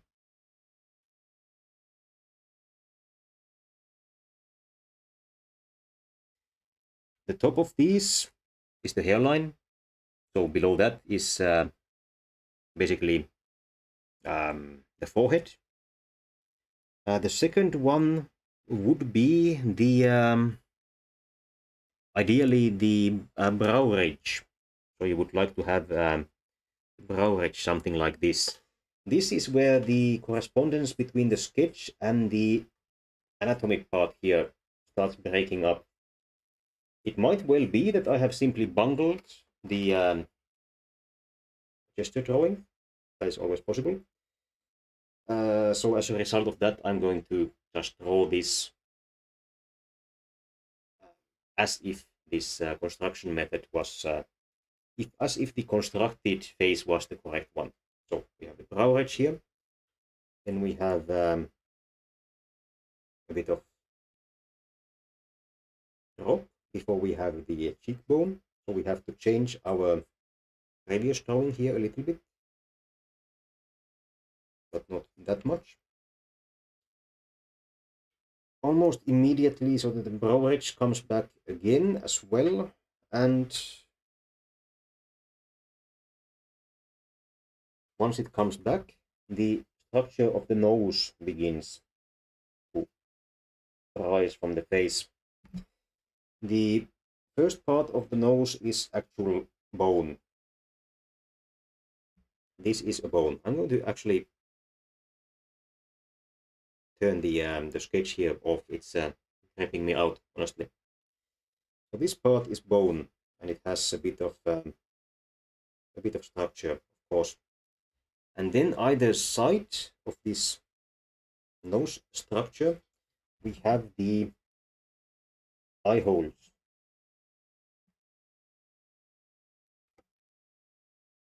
This is something that will again be difficult to reconcile between actual human anatomy and uh, drawing waifus, as I imagine many of you would like to. But um,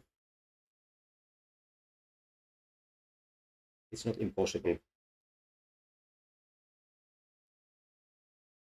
This one is going to be about half the uh, height of this um, half cutaway here.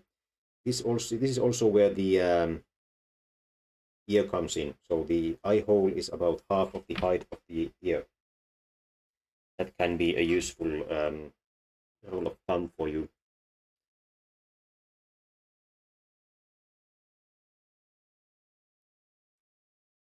So what we have after that, we have um,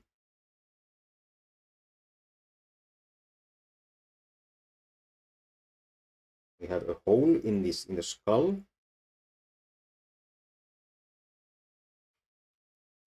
You can use the um, the bottom help helpline here. And then after that uh, we start getting into the teeth. Uh, the teeth area is about one half of the remaining area and the bottom half is uh, the chin. The teeth are slightly bulged out so you might want to imagine a sort of um, sort of cylinder here. Thing is of course that the teeth also turn inwards behind this. This is something that is um, that I always find extremely difficult to actually draw. But uh, having some kind of uh, you know volume here to remind you where this thing might may where you might want to draw this can be um, helpful. So then, what else do we want on the skull itself? Not necessarily all that much. If you actually want to um, draw the skull instead of a finished person, you might want to draw in here, and you might want to draw in the uh, the actual separation between the mandible, but uh, it's probably not necessary. So, uh, the next one concerns the nose, and this um, this can be quite helpful. So when you have the bones of the nose, um, the second thing you might want to draw in are the cartilages of the bone uh, of the nose. There are two of these. I think I have drawn my nose a little bit. The angle here is a little bit uh, shallow. That looks better. Um, you can just touch your face and uh, check at which um, relative heights these things are in relation to each other. Again, um, if you are lean enough or muscular enough, you can also use your own body to um, check where, how, which uh, muscles rotate, where things attach, that kind of thing. Anyway, there are going to be two parts with cartilage on the nose. The first one is the one where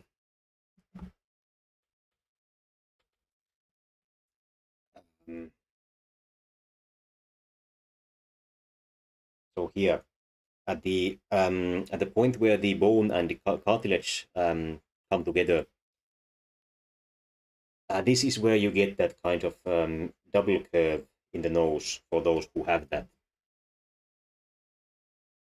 This woman had a very slight um, double curve here, I think, but uh, let's ignore it for now.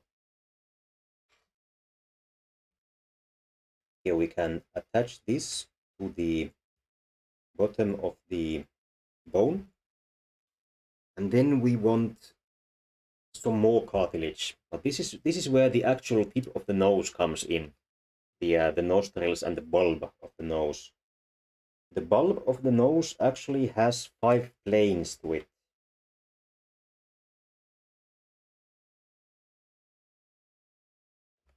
And after that,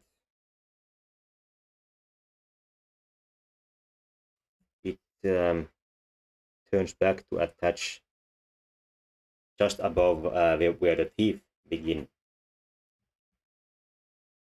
So this is the point where you would have to start fighting with the nostrils. The nostrils are difficult to draw. I don't really have any particularly good methods for them. What we have is that they attach around here, and of course that um, they are curved.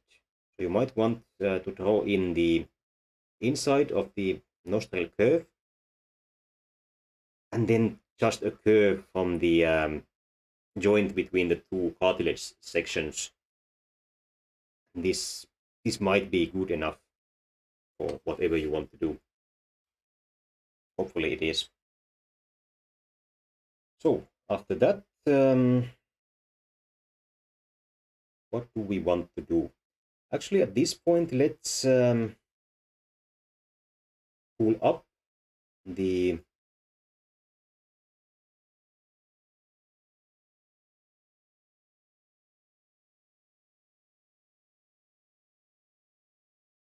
drawing to remember remember what we uh, actually want to have here. We want to have some um, fairly droopy um, eyelids. So let's think about drawing some droopy eyelids. The, uh, the eyeball itself is going to be inside the eye hole, of course, so it cannot be massively larger than the eye hole but of course part of it will be obscured by parts of the skull. The area of the eye that we actually see is quite small. So, what else do we want? At this point, we might... Um, we are already thinking about the eyelid, which hangs, uh, for this person, hangs down. So let us actually Oh, hello, Caleb. Welcome. You were doing some sports as well, I noticed earlier. I also did some sports today, although not quite as intensive as you might have, as I imagine you did. Oh, thank you, Pete. Um, I have some swingy tunes running in the background, and I have um, I've been doing some gesture drawing today. We did um, one with uh, hands that was actually relatively low stress, quite fun. And now we are working on a face. I already did half an hour of gesture drawings for faces, and now I am talking about the anatomy of a human head based on uh, the final uh, gesture drawing that I did. At this point, I am uh, mostly done with the skull here the uh, the nose already has all its cartilage and meat, and now I am moving towards the eyes. Uh, don't worry, Caleb. I'm sure you need uh, quite a lot of recuper recuperation afterwards. Um, did you do your planks? I have to ask you. Did they hold you to your word?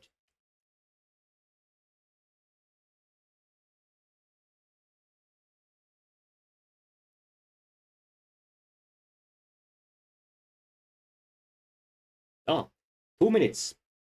That's quite long. I don't think I've ever ever been able to do two minutes. I think something like uh, 90 seconds has been my um, uh, my personal best. Well, anyway, keeping to the topic of uh, droopy eyelids, we might end up with something like this. The, um, the edge of the eye hole is somewhat rounded. You might want to keep that in mind. Not, not make it too blocky.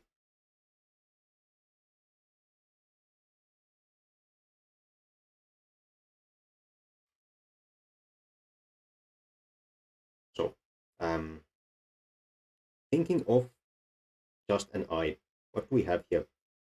We have the tear glands. Then we usually have um, a bit of curvature.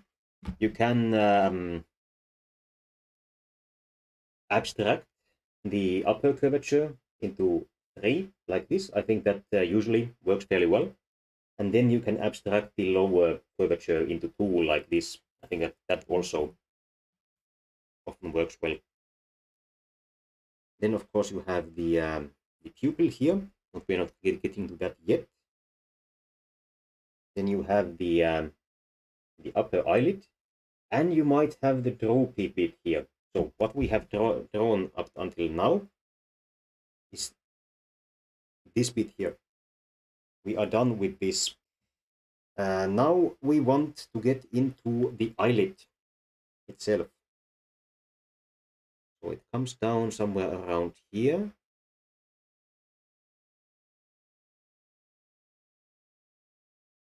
And uh, similarly on the other side it will be um, much less visible because of because the um, the nose is in the way. So after that we have the open position of the eye. Let's abstract this with um, ray planes. However the way that I have drawn it here, part of it will be obscured by the droopy eyelid, which is exactly as it was uh, for the model, as I recall. Then relatively uh, flat line like this, and some more here.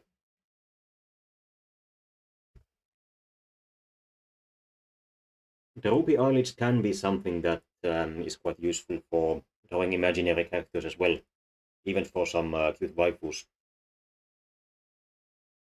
although of course it is uh, a bit more unusual for them. Now, new viewers, please do not be spooked. I'm going to take a look at my gesture drawing, which is uh, not particularly attractive. I have to remember in which direction this person is supposed to be looking at. And it is um, a bit left of her center line. So we might want our I to be positioned something like like this. We can work work on that later if we want to. So there we mostly have the eyes. The next one might be the eyebrows. She was doing a bit of um, a scrunch here. Let's take a look at it again. Yes. Some of her frontal bone might be showing the frontal bone or the um, the forehead bone, more English, is the bone that uh, sits around here. This is um, perhaps the most robust bone uh, in the human body. If you headbutt someone, you hit uh, hit them with this bone. However, this is generally not that visible for women. So I think we have some of it being visible, but mostly this is going to be down to the eyebrows. The eyebrows themselves, in a neutral position, they sit above the um, on the brow ridge, but uh, this person is not making a neutral face. She might be pulling them down a little bit. So,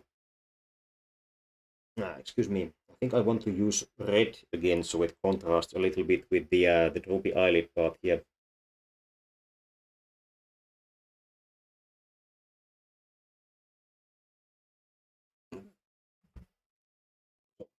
but actually want something more uh, more like this. And the other one was uh, slightly more straight, I believe. Is going to end up being more of an inspired by um, drawing than a uh, an anatomic tracing of the original picture. And she had some brows here that can be can be quite difficult to draw actually from imagination. Uh, scrunched and um, drooping meat is kind of like clothes in the in the sense that you really have to think about what is moving if you want to um, intellectually draw the result of the movement. So we have what actually do we have? Stage left, she is pulling it um, a bit down and I think inside. Whereas on the other side, she is more pulling it inside. So we have um, a contact, something like this. And we might might want to add these kind of creases at the start and the beginning at the start and the end so that it ends up looking more more like it uh, comes from somewhere. That's probably fine for now. Um, I think then we want to move on into the mouth. The mouth is, uh, particularly when it comes to lips, quite a difficult one. Uh, we know that some of her upper teeth will be visible I think her canines on both sides were visible. They're going to be around uh, around here. And then she is going to have four teeth between there.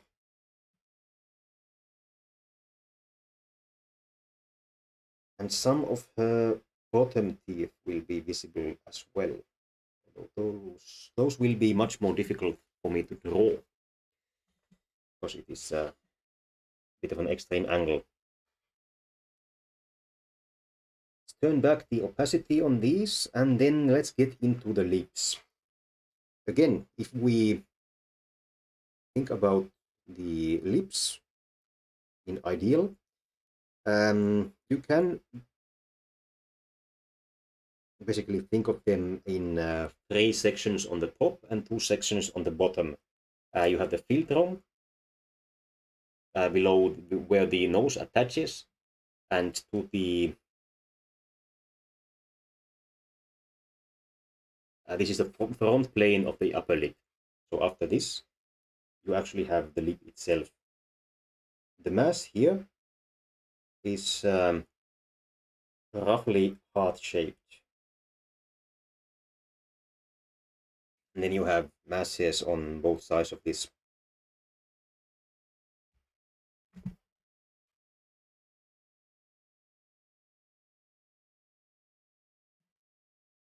Whereas on the bottom you have um, basically two masses.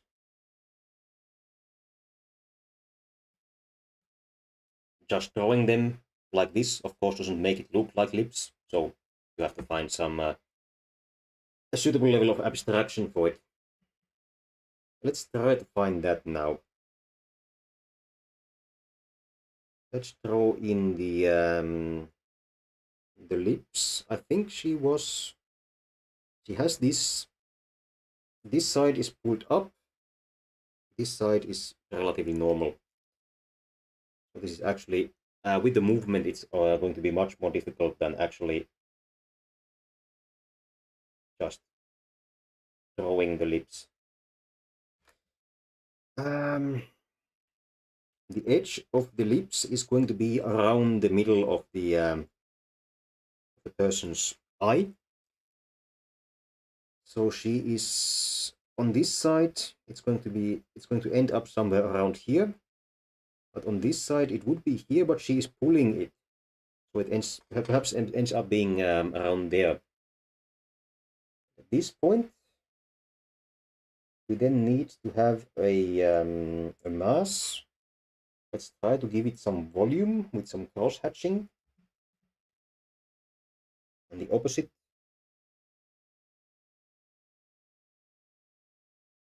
on this side.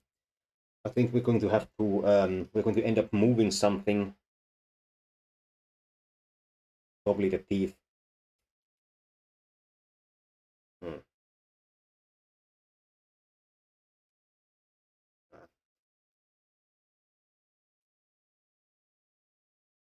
Ah, yes. Not much of a problem. I just had the uh, the teeth drawn in a little bit high, I think. So around here, around here, like this. And of course the bottom lips is going to be are going to be around here.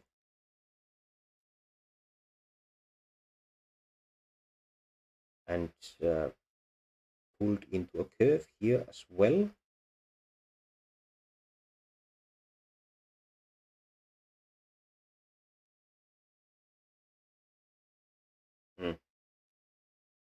This is turning into a bit of a, a different facial expression than this uh, individual actually had, but um, good enough for me. We are running two hours now. Anyway. and I am going to add in some vestiges of teeth between here. They are not going to be as visible as they were on the actual model, but um, tough luck. Now, I am going to start thinking about the meat. So if she has pulled her cheek out, uh, she's also, also going to move some meat around here. So you end up with something uh, like this, and then back into the uh, into the actual bone here. There won't be nearly as much uh, movement on this side there's a bit of a trace here. There will be a bit of a trace like this. Again, um, please note the meat moving. Get a kind of a, a kind of a plane here. For shading purposes, the uh, front plane of the eye socket might be interesting. so We're probably going to have a different shade here in the in the eye socket than outside.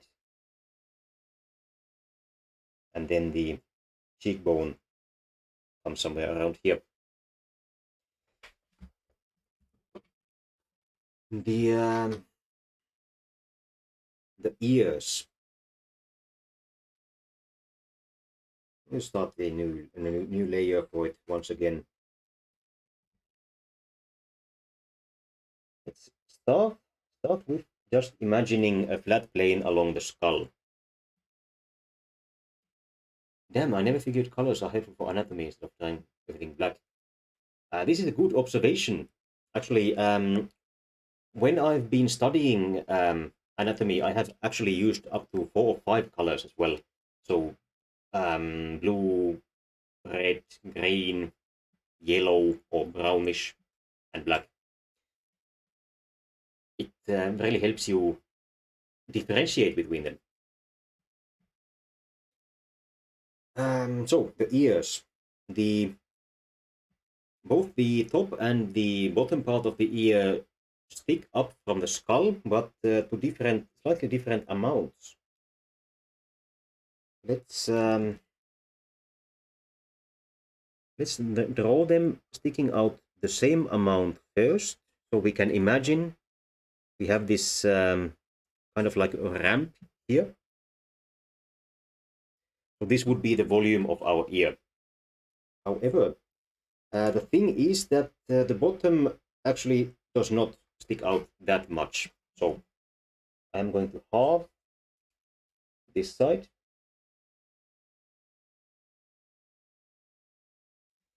And then I am going to change the outer bounding box here so that it curves down here. That's um, that's roughly the bounding box of the eye um, of the ear that we want. The next part is actually drawing in the features of the ear, which is of course three-dimensional. So you might want to draw something um, that follows the bounding box. Of course, at the at the bottom, you want it uh, turning back as the ear has a sort of um, question mark uh, form to it. And at the top, you might want something that follows the um, the top curve of the ear. And at this point, you just have to start adding in detail. You can either look at photos of the ear, they can be quite complicated, but um, perhaps the most important part is around here. There's this um, knob ear that turns, turns something like this. When you're done with that, this is a sort of um, double curve kind of um, question mark shape, perhaps. Then if you are not um, making a huge effort, like I'm not going to do now, you might just uh, draw something up here, like uh, maybe a Y or something. The internal structure of the ear is uh, going to vary from person to person anyway, so it's not that uh, critical So there we have the ear then uh, let's turn the opacity down a little bit here and start a new group this is going to be a group for the for the hair the second helping line was the hairline so uh, this person actually had her um, hair pulled back so her entire hairline will be visible. This is not necessarily the case for um, other people. Can be helpful to draw in the hairline so that you have a vague idea where you want to draw um, hair starting at.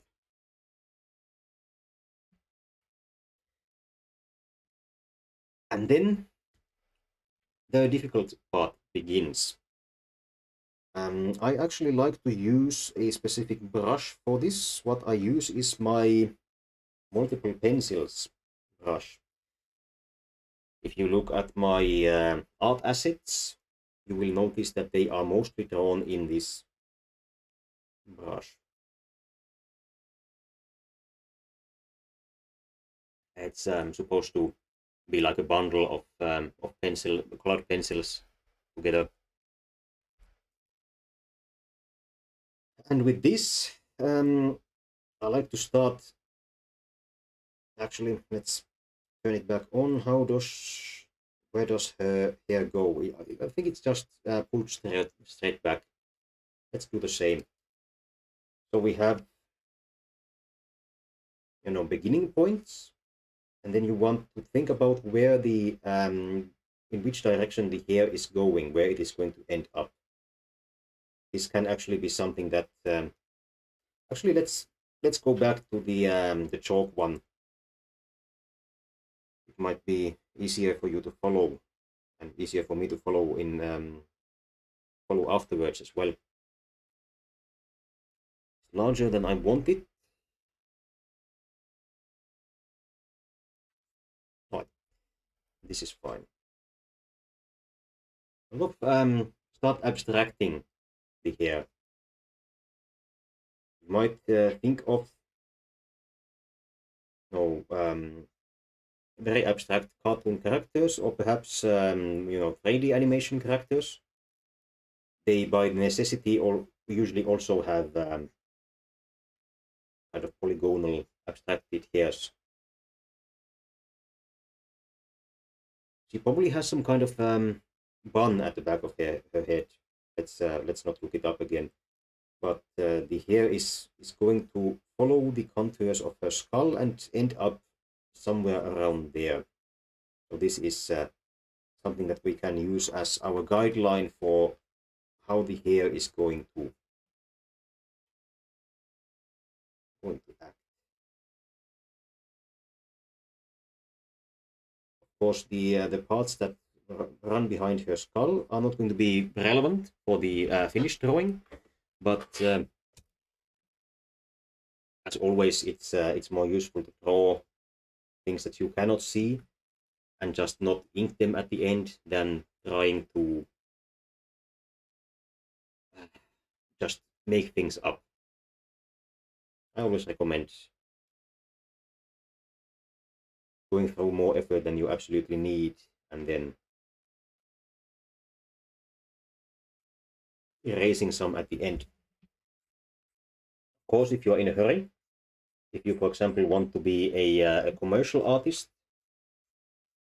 taking commissions, for example, you have to think about how much time you want to spend for each project.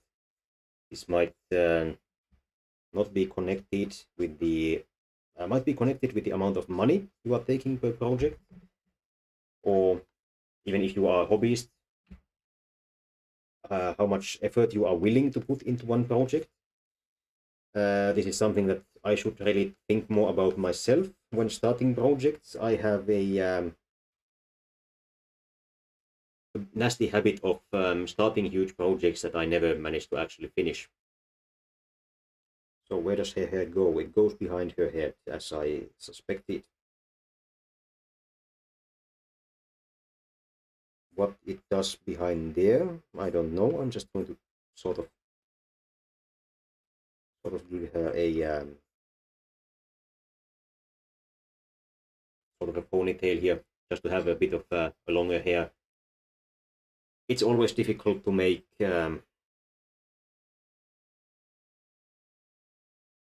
it takes more skill to draw someone in detail and keep them looking feminine than it does uh, removing detail to make them look feminine. Um, I'm going to ink this a couple of times. Once is going to be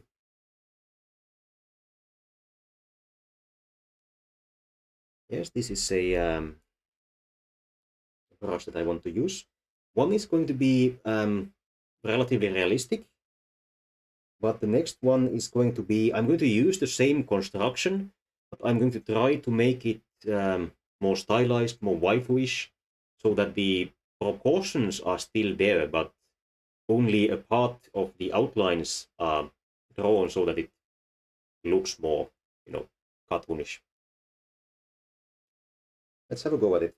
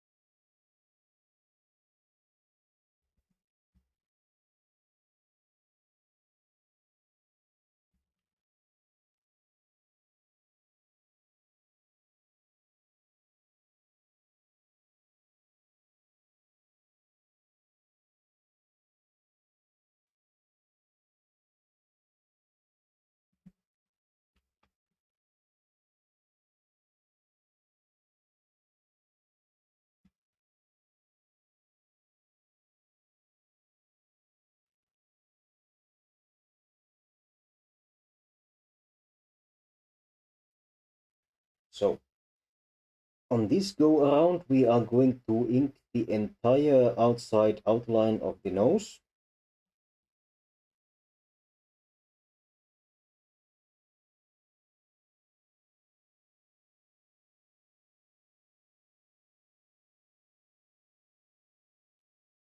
And a part of the nostril. some of the inside outline, as I recall her having a um, relatively distinct um, cartilage in her nose.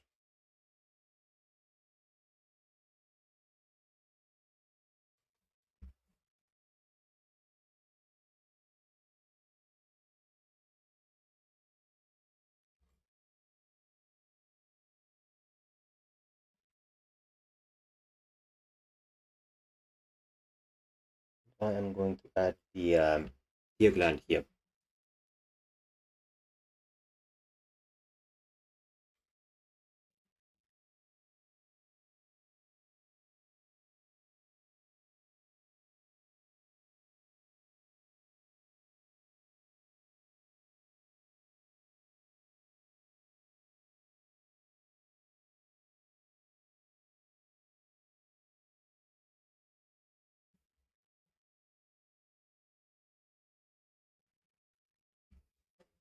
Probably going to end up looking like a granny, honestly.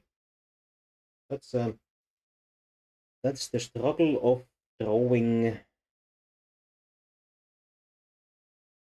young people in relatively high detail. I'm actually going to go all out and I am going to try to draw in the um,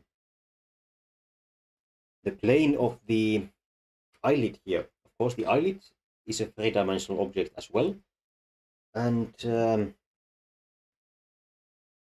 has its own volume. So from certain angles you will be able to see this uh, strip of flesh. Um, this one on the um, on the eyelids. They exist, although they are quite small.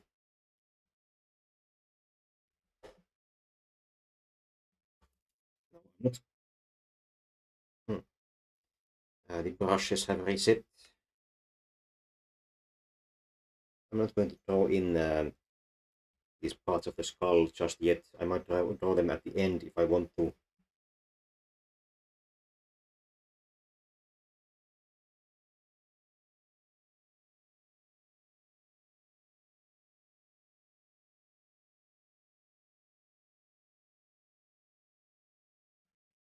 you might not want to try the try, uh, draw the um, outside outline of the lips really under any circumstances. That's um, that's a fast track to uh, symbolic drawing.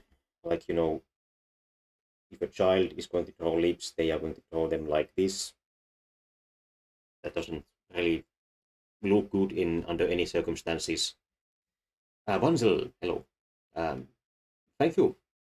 I uh, unfortunately a lot of uh, art streamers or people who sell their um, working their works in progress, so their PSDs, for example, aren't that um, structured about it. So I have tried um, doing some industrial espionage towards a number of online artists that I enjoy, but unfortunately, it isn't very helpful. So I hope that this kind of uh, method, very methodical um, presentation will be helpful for some of you. Then the inside of the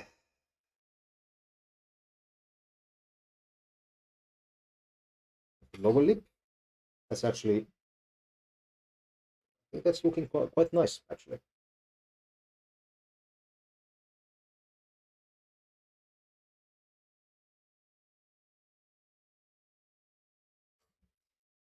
Now I am going to try to show some of the teeth here.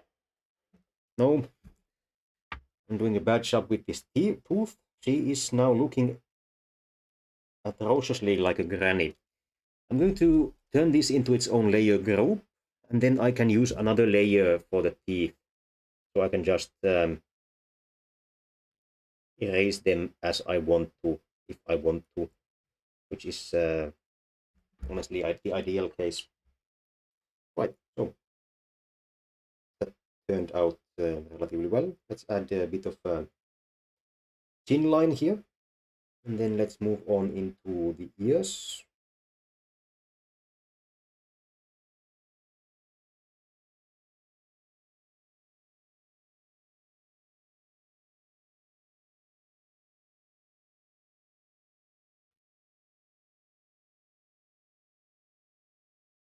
Curve here again and then let's just take these two lines. It's going to be good enough I think. We have the uh, the neckline the other neckline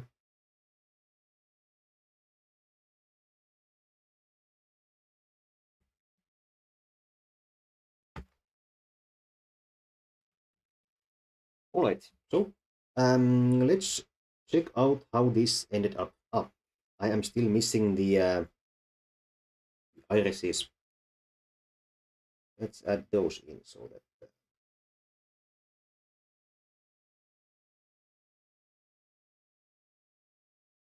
doesn't look quite that uh, ghastly ghost like. Alright, so this is how it ended up, just as uh, as line work. Say I'm halfway satisfied with this. It's um, certainly I would describe this as expressive. Um, it doesn't really look like a young woman. You might uh, easily inter interpret this as uh, a feminine man or an older woman. Again, drawing young women particularly is quite difficult when you want to be uh, detailed about it.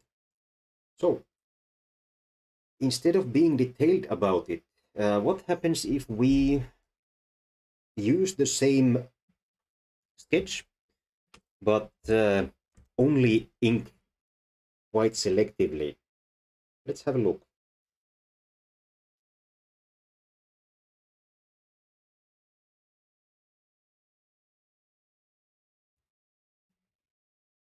Of course, when you're drawing waifus, you probably want to give them large eyes as well. So that's going to be uh, a bit of a difference between these um, so between these uh, uh, demonstrations and how you would probably actually be drawing in your um, hobby activities.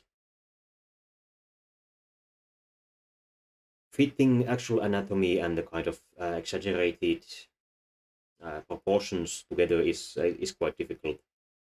Um, for example, I once started on a drawing of um, a certain artistically minded, minded VTuber who in her character design has quite um, quite a thin neck and quite a large head as uh, Japanese styled cartoon characters often do.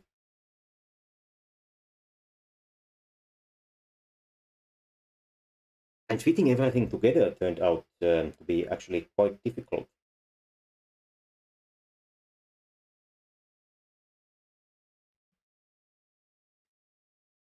So here I am doing basically what um, Yoshikazu something uh, keeps on doing. So he is thinking about what's happening, but uh, making a conscious effort not to draw what should be there and instead what he wants to be visible. I think the lips actually ended up being quite um, quite nice, even in the first one. So let's not make massive changes there. But um,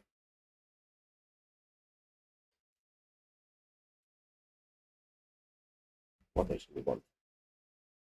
The chin here doesn't have to be quite so, uh, let's say, robust, realistic. We can uh, take a bit of a short shortcut here across the actual bone. That's going to make her look um, look and feel more feminine. Instead of uh, drawing in the entire curve of the eyelid here, let's just uh, draw in points.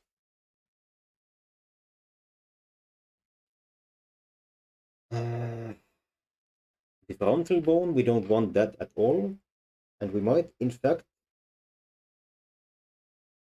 want something um, quite stylized on the um, brow furrow here, instead of even making an effort um, of following what the actual structure would be like. So then we likely want a um, an exaggeratedly uh, thin but long um, eyebrow.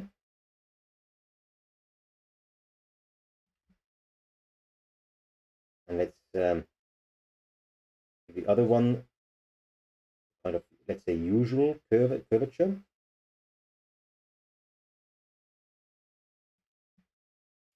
That's not, not not looking quite right.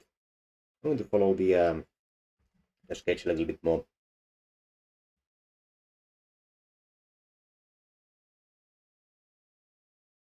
I think that's uh, that's going to be fine.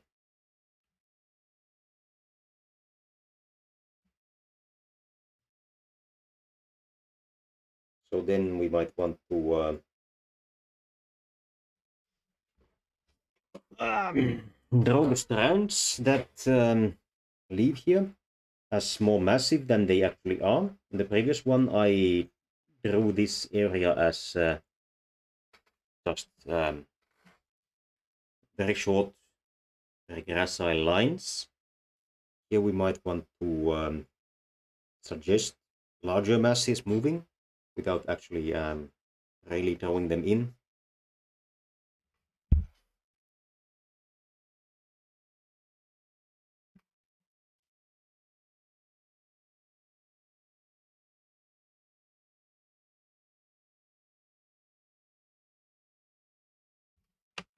And the ear. And probably round out the ear a little bit more. Not put that much uh, much detail into it in general.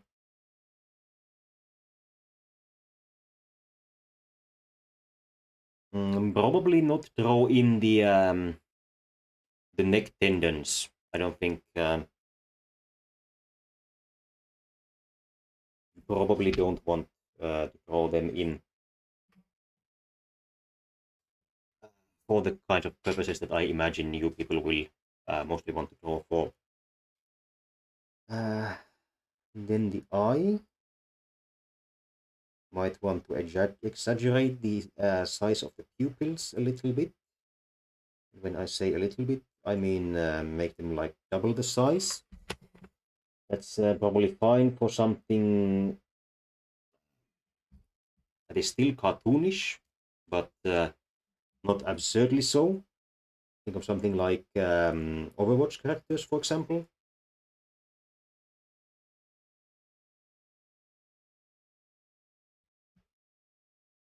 Let's uh, take a look at this point. What does this look like without the sketch? Uh, there is definitely something missing here. This is uh, not looking all that good. So what do we actually want to add here? Put in some black for the um, eyebrows.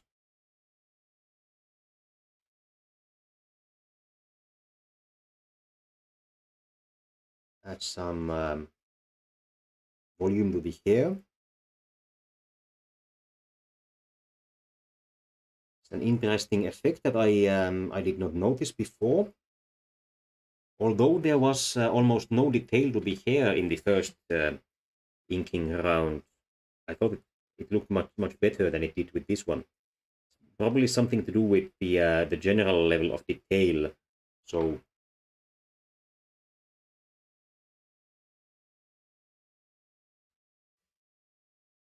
somehow fit better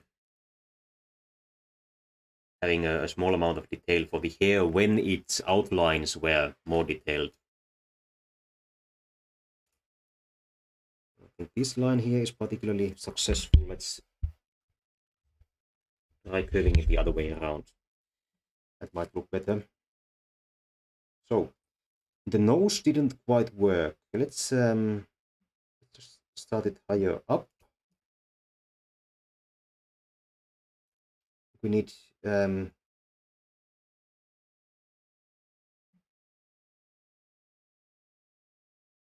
we do need some amount of structure here.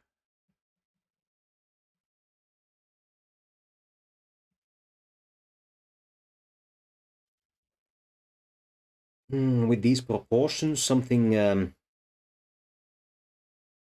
extremely simple is not going to work. I don't think this is quite a success either. It's it's closer than the previous installment was. Let's try to um, add some teeth here again.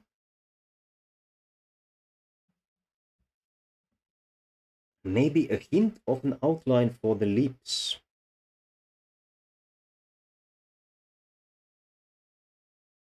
Not there. I think that's uh, counterproductive. Having a bit of definition on the lower lip uh, might help. Yeah, definitely looks better. I think we actually do need the um, the neck tendon on the uh, stage right side. And I think this is where we get into trouble with this uh, juggling between actually realistic proportions and uh, keeping it quite stylized. Let's add uh, add a bit bit of an outline here, maybe a bit here. And I think at this point, what we actually have to start doing is fiddling with the proportions.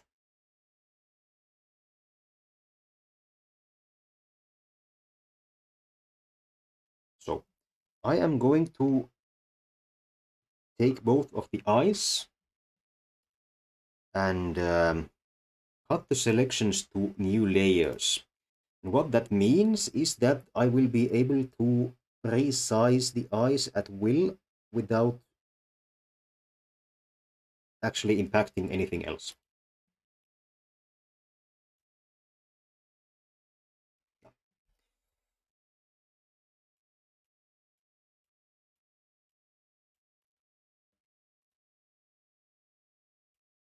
Here we are.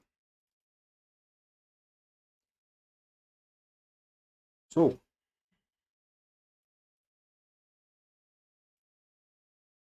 let's say we just try out plain making, making, make, make it bigger. Does this end up looking any better? It doesn't seem like that at the start, but um, let's just do it and see how it, how it turns out. Honest, honestly, not. She's just she's ending up uh, looking more and more creepy.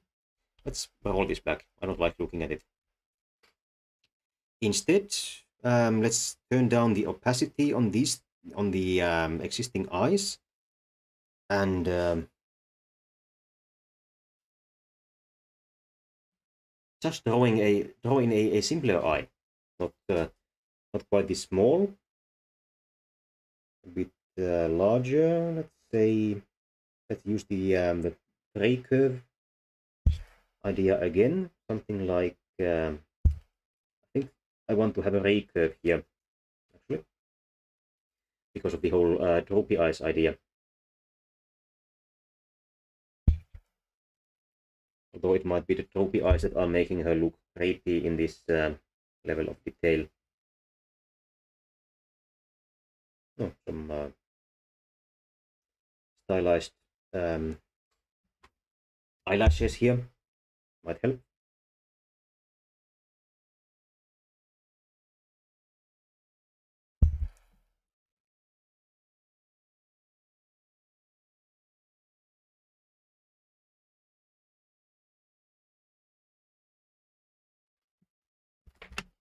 And of course the um, underside of the eye will be lower than it actually would be as well.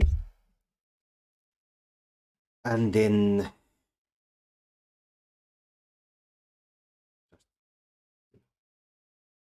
give her some of those big big waifu eyes.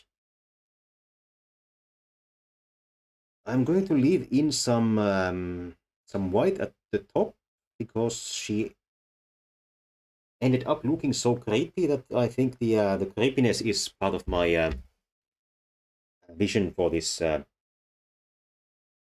character design at this point.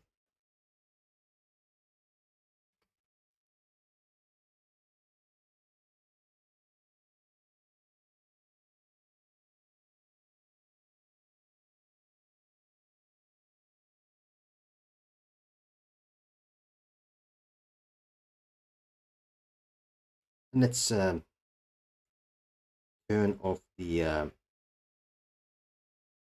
old eyes. Oh. uh, this might be something that we would end up with. Um, looks fine to me. I mean, um, aesthetically, this isn't something that I um, I would be particularly proud of, but uh, it works. And um, as a demonstration of using actual um, actual proportions to uh, structure your drawing of a um, more stylized character seems uh, seems to make sense to me. And as I expected, it has taken quite a while to work on the um, the face. I had planned uh, for the feet gesture session, but uh, I don't think I will be getting into that. We are now two and a half hours into this. And uh, I think I'm done. Thanks to everyone for attending. Thank you to everyone um, attending afterwards on YouTube, as I am closing the recording now.